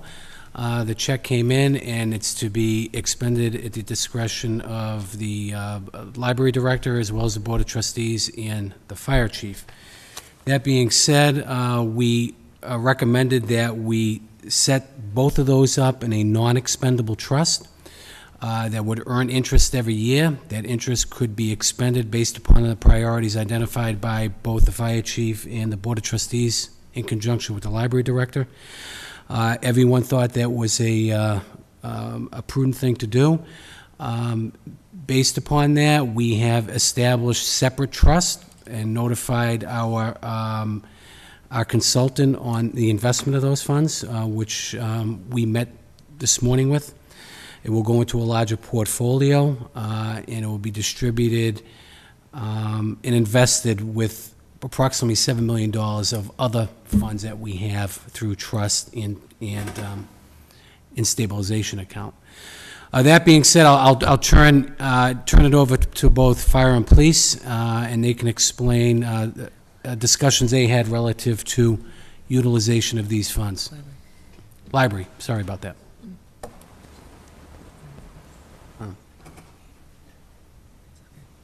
Good evening. Good evening. I'm Bobby Baker from the um, Board of Trustees for the Auburn Library. Um, Just a quick little statement. Um, The library trustees are pleased to recognize the generosity of longtime friend and patron Norma Card. We are truly blessed to live in a community with such dedicated and devoted citizens. At the next meeting of the Board of Trustees, which will be not this Wednesday, but the following Wednesday, we will finalize um, basically what the, the board will have to vote on exactly what we were doing with the money. But the suggestion is that we are bringing forward to the board is that the money be placed in an account um, and that the interest be used for programming or whatever other needs that the library director um, feels is necessary um, per year. Um, one of the reasons for doing that, and basically the best reason we feel for doing that, is if we follow this course, um, that, then we ensure that the gift basically goes on in perpetuity. It's not just a one-time thing that we use for one thing, it's something that we can keep using, um, which basically um, is better for the citizens. So, Thank you. okay, thank you. Chief?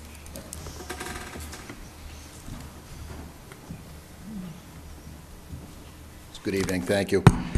Um, I I too would would like to extend uh, my gratitude uh, to Norma Card. Uh, Norma was a wonderful woman uh, who was very supportive of the fire department and uh, very supportive of me personally uh, as the chief, and I I always appreciated that. And uh, I, let's just say that on the Monday morning when I opened the envelope, I was shocked but not surprised.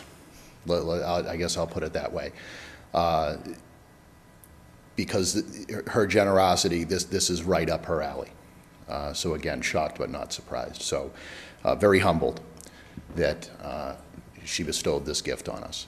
Uh, Much like the library, um, I've given it a lot of thought in terms of what we were going to do uh, with the money. And again, I didn't want to just spend it on something that was going to be forgotten about in a week, you know, although it may be important, you know, sort of, no- nobody's going to remember it a week later.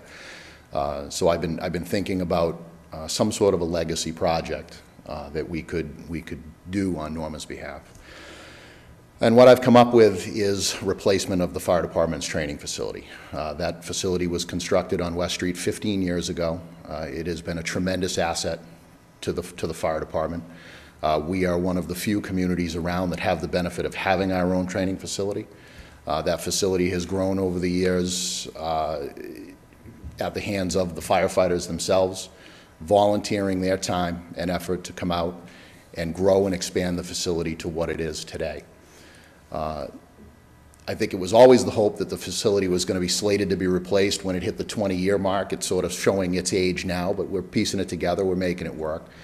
But there is currently no funds available in the capital or any other, uh, you know, no other means to replace that facility. And I thought this would be uh, a perfect opportunity to do that. Again, Norma was always very supportive of the, of the fire department, and, and every time that I ran into Norma, she'd always make it a point to tell me uh, how professional and polite and well-trained our personnel was. So I can't think of a better project uh, than continuing the professionalism and the training of our members in a training facility that ultimately will be uh, named in her honor.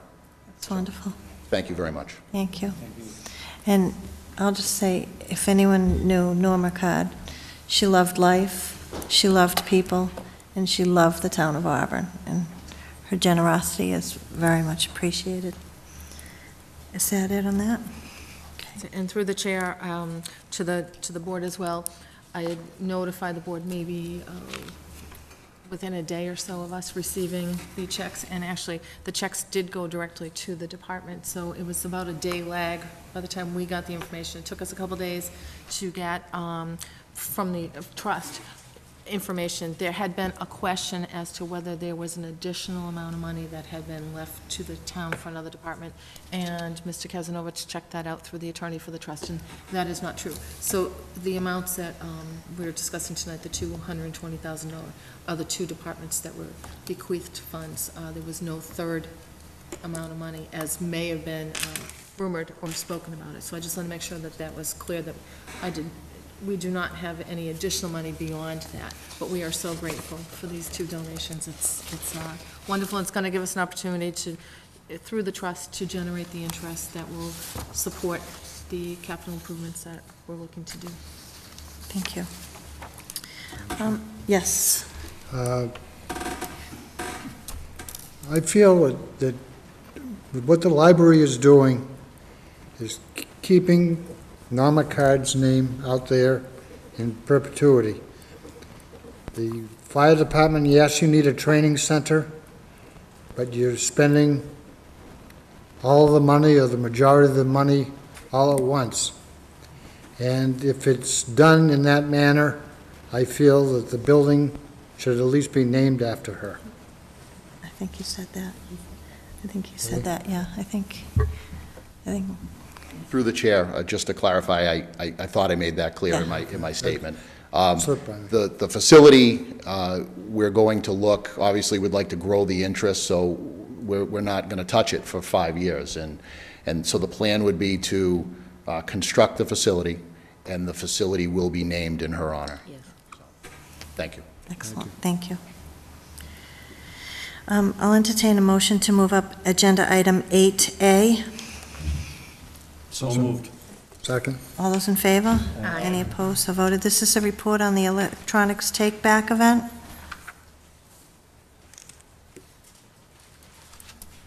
Good evening again. I'm going to step back and let my electronics genius get this thing running. Good night, thank you. Good night, thank you.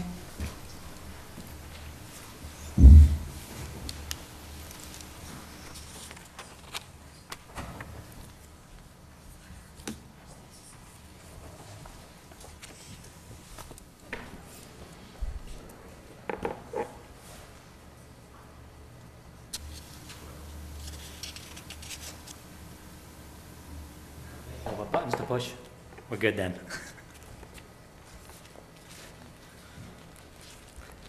Good evening. Um, It's unfortunate that Ms. Sullivan stepped out. She was instrumental in bringing this to Auburn. Um, Very pertinent topic, considering the topic we last discussed extensively. Um, As always, we are constantly looking for ways to improve our recycling and to divert solid waste from the waste stream to other beneficial uses.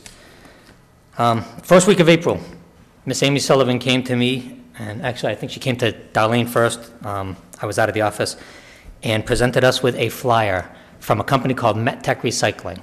They're a company in Worcester that is already on our webpage. I have a section of our webpage that lists all kinds of alternative ways to dispose of things. Um, We've had an association with MetTech, but this particular flyer was for an event taking place in Worcester.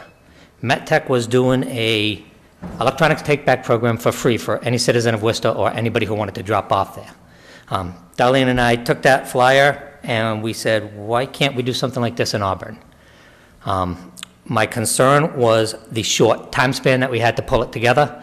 So my first recommendation was, let's see if MetTech will entertain a drop-off program for the town of Auburn, but specifically to clean out the town buildings. The library, the schools, the town hall, all the electronics we've accumulated. We just got a new phone system, so we could get rid of all the old phones. Um, So we called uh, MetTech, and MetTech says, yeah, we can do that. Um, You know this event closes on the 19th. Your window of opportunity closes on April 19th. So here we are, middle of the first week of April. We had essentially a week and a half to pull together a quick program. So um, in a discussion with Butch Larson at Casella, he said, oh, you're going to have take, uh, electronics take back? We'll offer you a roll-off.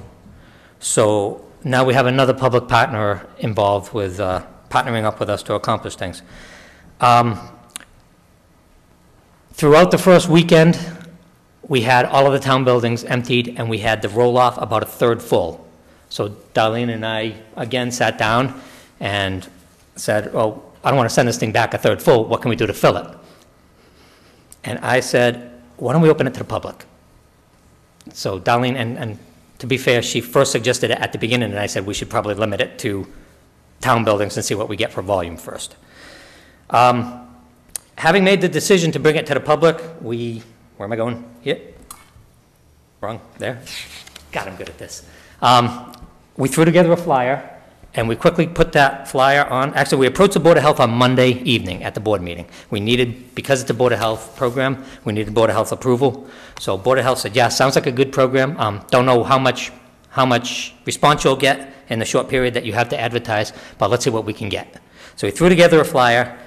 By the middle of the day Tuesday, we had the flyer on the webpage and on the, uh, and on the um, cable TV.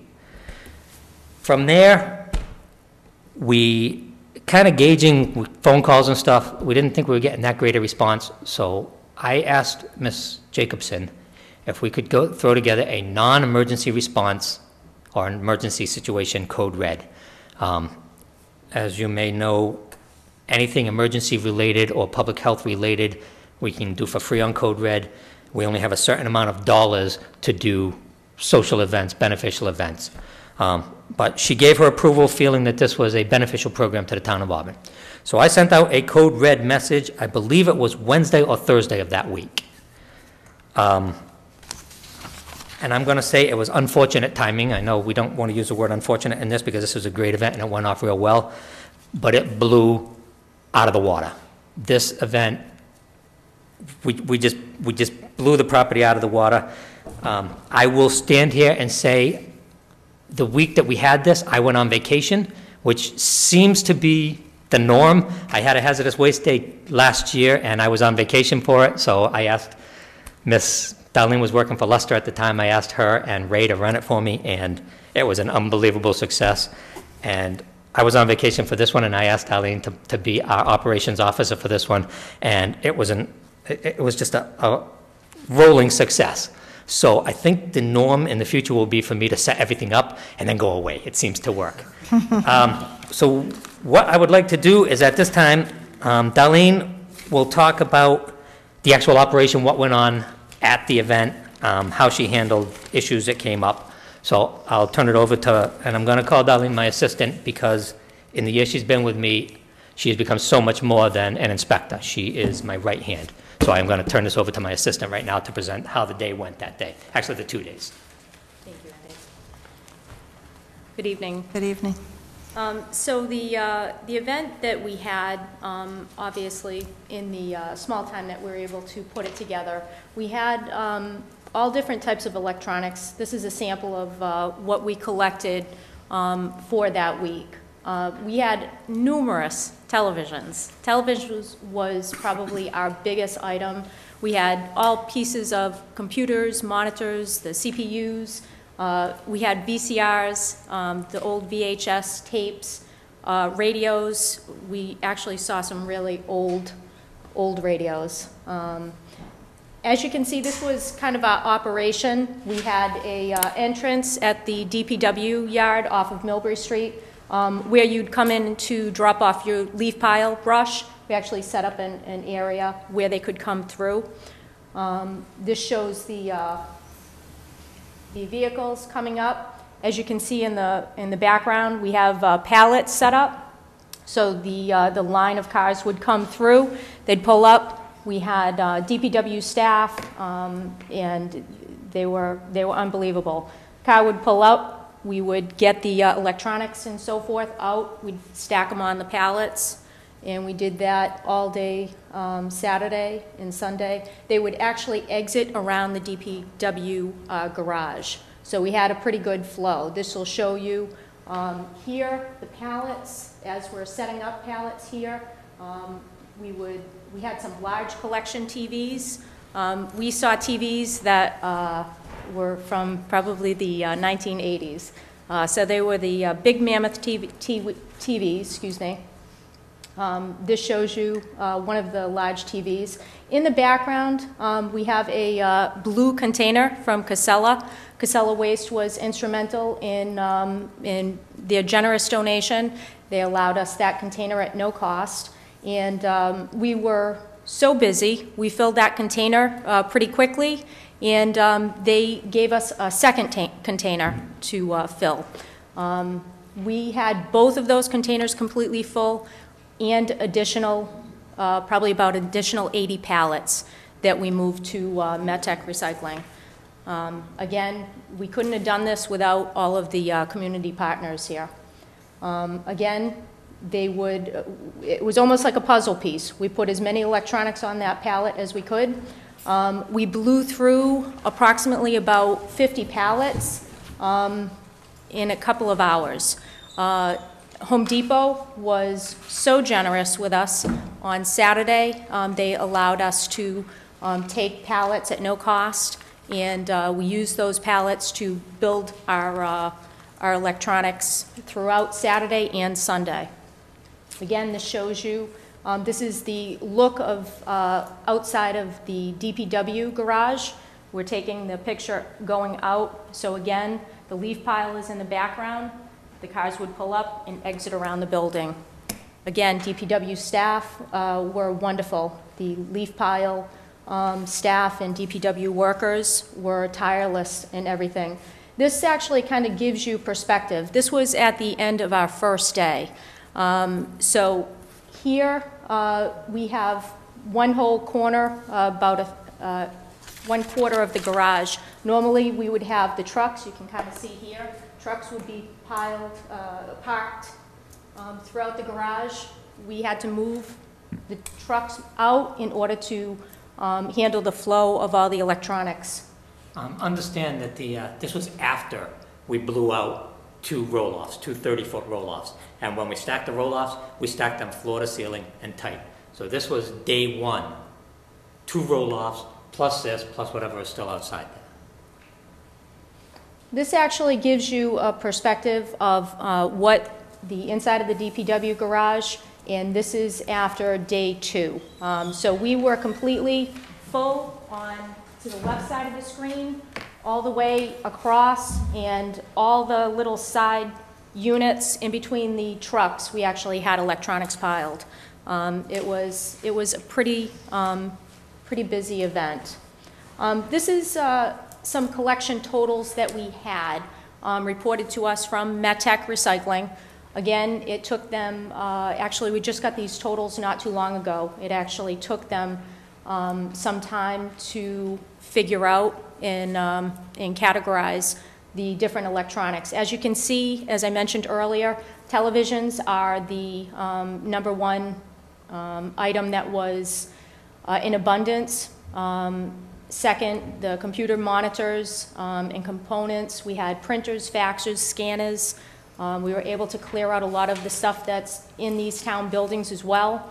And um, this was a breakdown of the collection totals. This is um, what our, uh, if you were to take all the totals on the previous slide and add them together, we recycled four, 46,565 pounds of electronic waste. Um, It comes out to be, I believe, about 23 tons. Comes out to be just over 23 tons. We are talking 14 Hyundai Elantras, the equivalent weight. Um, Ridiculous amounts of e-volume that came out of a very short notification event. The 46,000 pounds um, was literally, each one of those items was picked up out of the car and stacked on pallets. From the pallets, it was moved into the garage. From the garage, it was brought into the um, containers provided by Casella, um, pallets provided by uh, Home Depot. And from that point, um, the following week, we coordinated with the DPW and Casella to move all of that waste over to MetTech Recycling, where they accepted it um, at no cost to the town. This kind of gives you a perspective. You can see how many items are on each pallet. We had to literally stack them like a puzzle piece, and then what we did is, um, uh, we did saran wrap, um, we tightened the, uh, the load so they wouldn't fall over and hurt anybody. We also used duct tape, um, anything to keep it stabilized. Benefits of this event. Um, The electronic waste was taken out of the waste stream. Earlier in your um, meeting, um, there were, there was a lot of discussion about what we can do to um, help us with those municipal solid waste numbers and trying to um, cut the cost to the resident. This is one of those events that we saw as an opportunity, and we, um, we wanted to bring that to um, the residents.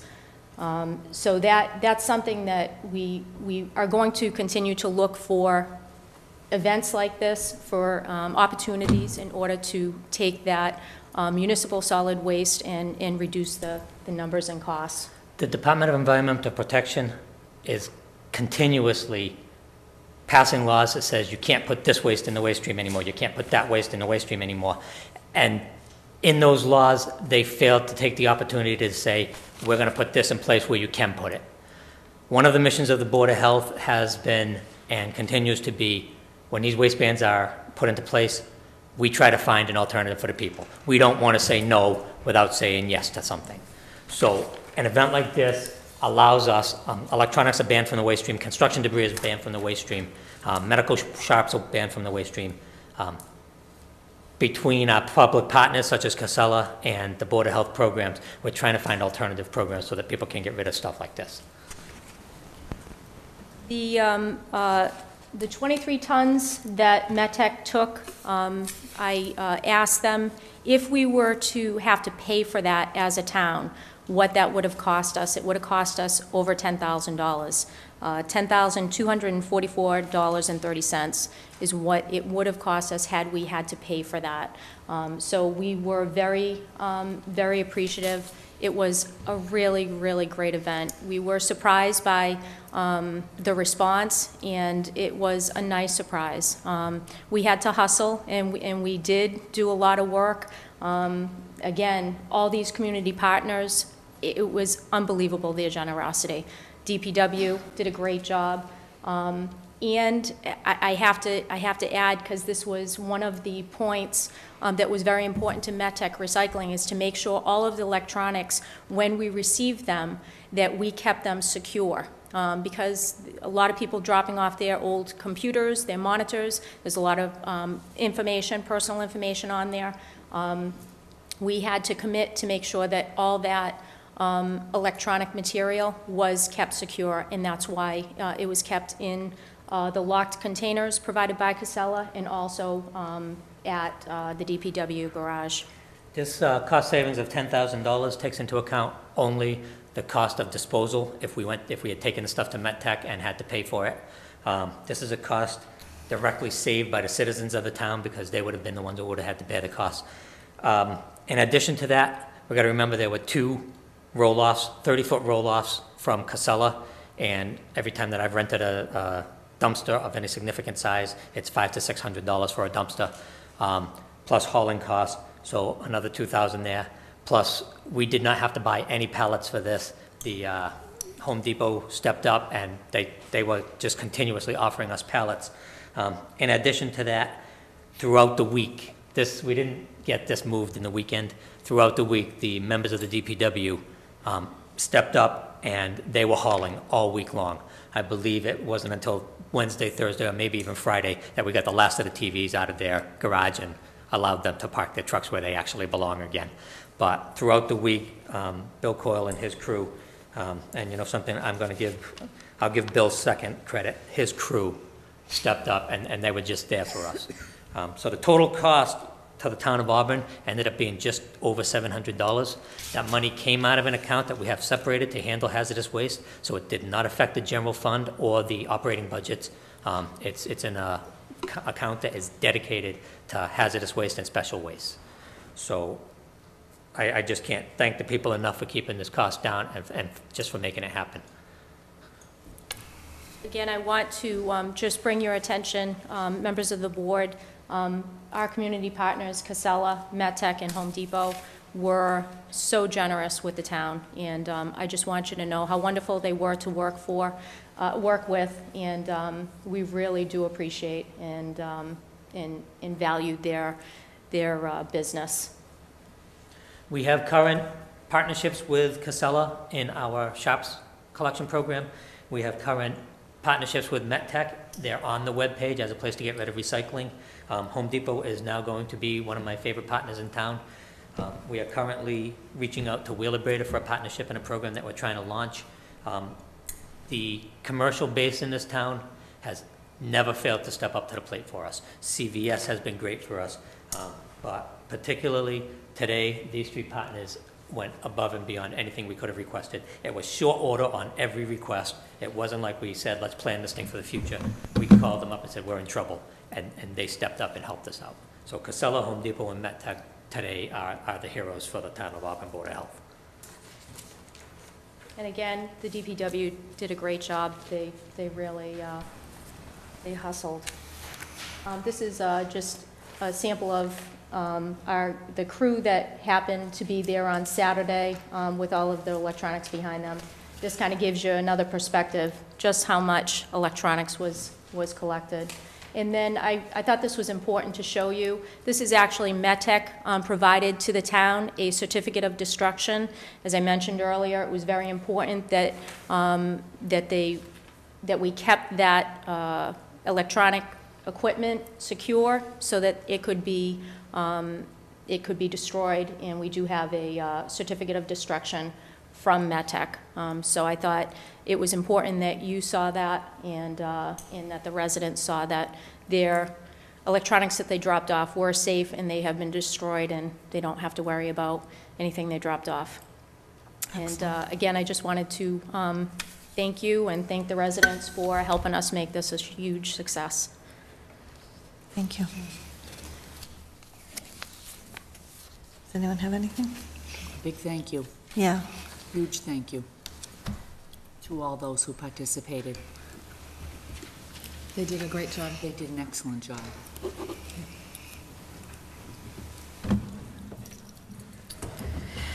If I can have a motion to move up item 8C. Second? Second. All those in favor? Aye. Any opposed, so voted. We have a request to declare surplus property from the fire chief, enclosed as a letter from the fire chief. We have several items.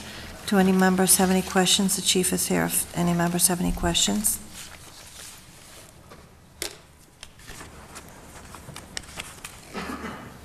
Is there a motion?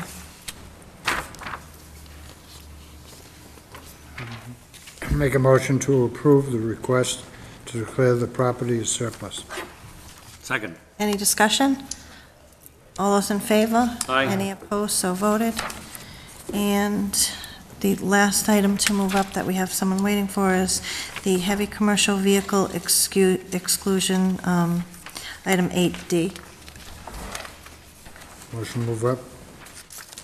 Is there a second on moving it up? Second. Any discussion? All those in favor? Aye. Item 8D is moved up. Mr. Coyle? Good evening, Madam Chair, members of the board, Julie, Ed, Sharon. Um, First, I wanted to echo Andy and Darlene's appreciation to the DPW employees on their hard work. Um, That particular week, there was 46,000 tons of material that were moved by hand, and uh, my, the DPW employees did a a lot, a lot of that work, and um, I think it was Friday around 2 o'clock that it was finally completed and the, the um, garage was finally empty. So they, they did a lot of hard work, and uh, I think the thanks doesn't go to, go to me. I didn't do the work. They did the work, and they, um, I really do appreciate their efforts in that. Um, But tonight, um, I was asked to come before you due to um, a recent request relative to a, a truck exclusion. And this is something that comes up from time to time. And quite honestly, when I get the call regarding this issue, along with speed limits and speed bumps, I, I somewhat cringe because I know typically the people aren't going to like the response that I give to them because all of these issues are very sensitive issues and very um, complex issues. Um, Excuse me, excuse me one minute, Mr. Cloud, just so members know, this is in regards to the email that we all received um, on Pakachoag requesting that there, um, we look into a truck exclusion. So all members had received that email, as well as the DPW director and the manager. Right, thank you. I, I wasn't going to get into that s- specifics on that, but you are correct. We did receive a, a request, and rather than discussing it with each, with each member, I think town manager thought it was important to present the, the information to the board and also for the general public to hear as well.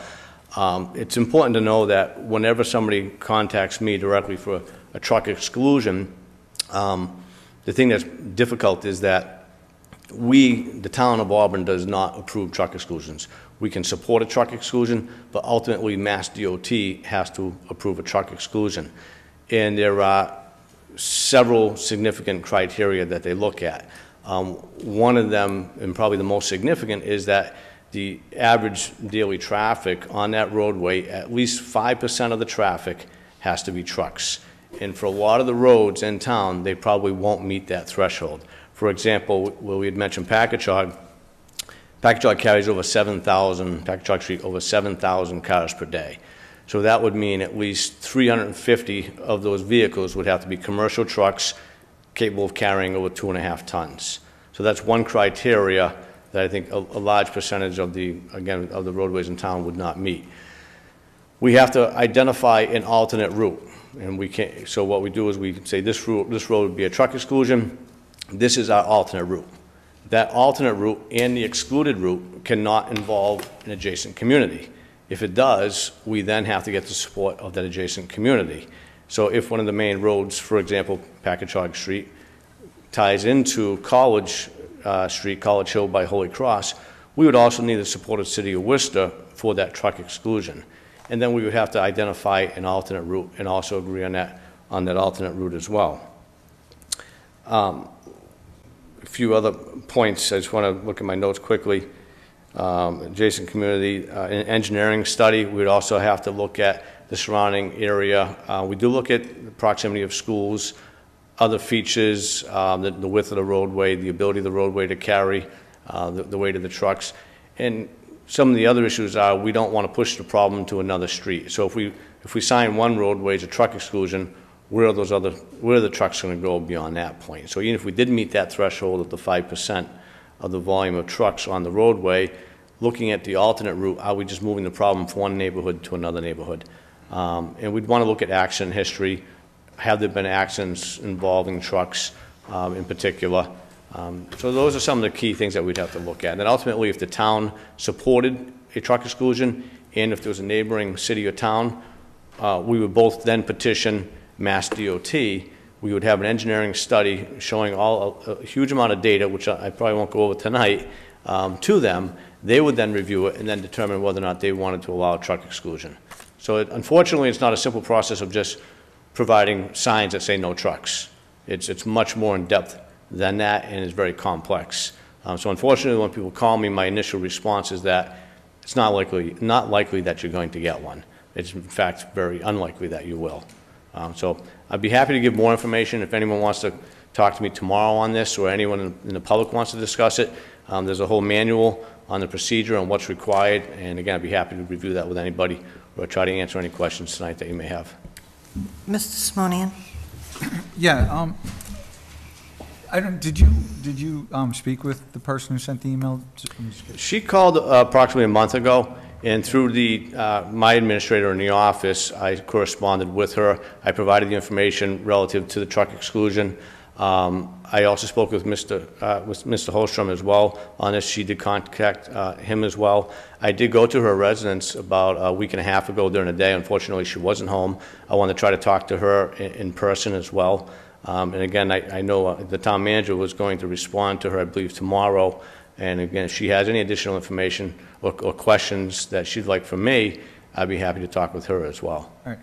Um, I know, I know that she spoke to Mr. Holstrom. I had, I talked to her uh, as well, and I, I don't think she was trying to exclude trucks from Pakachoag Street. I think she was talk, more worried about Davis Street. Mhm. And, and one of the, a couple of things that she conveyed to us was that a truck tried to make the turn and couldn't, got stuck there.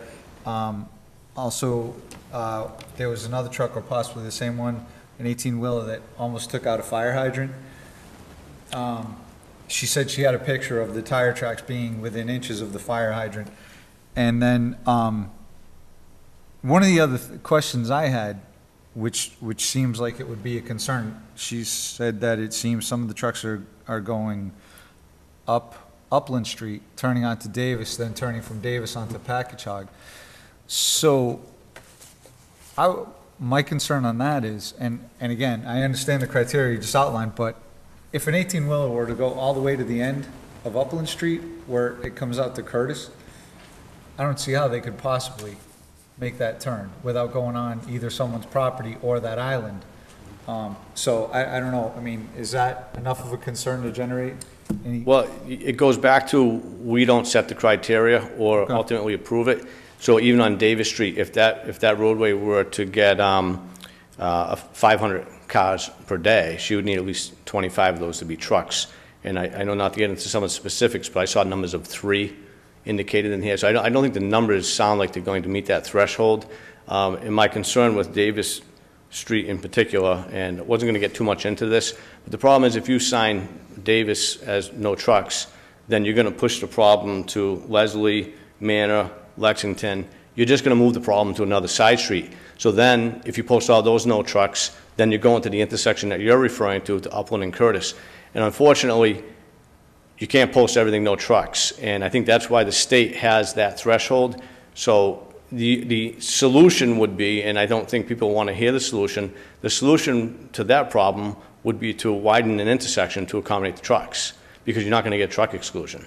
So then, what is the solution? Then the solution is, if this is the route that they're taking, then you, you turn, you widen the turning radius to accommodate the truck. And I, I don't think people want, want to see that, and it's not something I would do unless it was something requested by um, the board or the town manager. So unfortunately, unless we meet the criteria for a truck exclusion, we can't even consider it. So then you have to look at what other options do we have? I did look at, I, I did contact the police department relative to accident history. They did review Davis, uh, Davis Street. In, in the past three years, um, there have been two accidents in three years, none of them involving trucks. And one was a vehicle backing up from Davis um, to Pakachoag. So the initial review of accident history doesn't support that trucks are a problem with accidents. There haven't been any in three years. And I'd hate to see post one road, which I don't think we'd be able to do that, and then move the problem to another road. No, I'm not. And unfortunately, I agree with you, uh, Mr. Simone, that that is a shortcut. People go up Jerome to Pakachoag to Davis, over either to uh, Upland Street or Upland Gardens to go over to Greenwood Street. And I think a lot of the locals know that route, and I think people with GPS units, unfortunately, in this day and age, they show that route as well. I'm, I'm not advocating for posting it as, as a truck exclusion. I'm, I'm merely pointing out, I, I think there are a lot of concerns over there because I don't know what the process is, but I'm sure it would be some cost to the town if one of those eighteen-wheelers were to wipe out a fire hydrant, Well, it'd be a cost to the uh, Elm Hill Water District. Okay? Uh, But it's, Still.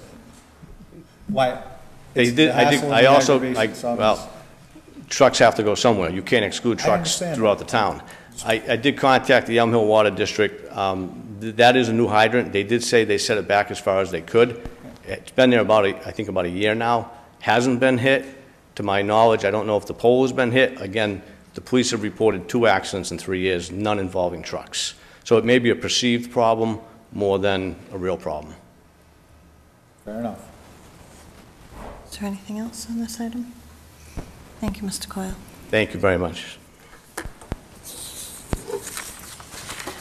So I think we are back to our regular agenda, and we are at um, Board of Selectmen, items 3A, vote to ratify proclamations for the Eagle Scouts. We had an additional three names um, that were submitted for the Eagle Scout Court of- Honor on May 19th. Those site, those proclamations were presented. So is there a motion to ratify the proclamations? I Make a motion to uh, ratify the proclamations for Jonathan Wambach, Nicholas Hernandez, and Matthew Lavalley. Is there a Second. second? Any discussion? All those in favor? Aye. Opposed, so voted. Also, we have a request to authorize a proclamation for ERA Key Realty Services for their ribbon-cutting ceremony at 304 Washington Street. That ribbon-cutting ceremony will be held on Thursday, June 6th, 2013. All members have been invited. Is there a motion to authorize the proclamation? Motion to approve the, uh, excuse me, a motion to approve the uh, proclamation for um, the ribbon-cutting ceremony for ERA Key Realty Services. Is there a second? Second. Any discussion? All those in favor? Aye? Any opposed, so voted. And again, all members received an invitation to that event. And this item came in by mail after the agenda was prepared, so we did amend the agenda um, for a ribbon cutting and open house for Ready Med, which is opening on Thursday, June 6, 2013, and they are having an open house from 5:30 to 7. All members of the board have been invited. Is there a motion to authorize a proclamation for Ready Med? Make a motion that we vote to authorize proclamation for Ready Med, Is grand there- opening. Is there a second? Second. Any discussion? All those in favor? Aye? Any opposed, so voted. Next item, we have our member items, and we have an update on the closed caption. Mrs. Brotherton? How'd you know that was me? Wild guess. Thank you, Madam Chair. I'm really going out there for a request again uh, to the Auburn residents and the community. Um, This closed captioning is very close by, is very close by. Um, Unfortunately, we need, we need to show numbers. So if there are any residents out there that are aware of someone that would benefit of the closed captioning of these meetings, um, please give the town hall a call and ask for the town manager's office, or you can talk to one of the girls, and please get us the numbers so that we can advocate for them and get this project moving and done with. Thank you. Is it in Oh, regards to this one? I just want to be sure Mrs. Brotherton is finished. Yes. Okay. Mr. Simonian, did you have a member item? Nope, not a member Oh. item, just a, a- a comment. I was wondering if we would, if we could put a, s- uh, some sort of sign-up sheet or list at the senior center. I- I'm, there may be some folks who could just, Okay. it it would be easier to just put their name on a list up there, um, rather than make phone call or send an email. So if we could do something like that, might Thank you, help them Mr. out. Simonian. We did put one up once before, so I'm just hoping, and we did get a response up there, I believe two responses. So if we could try that again, that would be great. Thank you for bringing that up. Sure. Are there any other member items? Seeing none, we have completed the town manager items. We have no tabled item. Is there any additional public comment?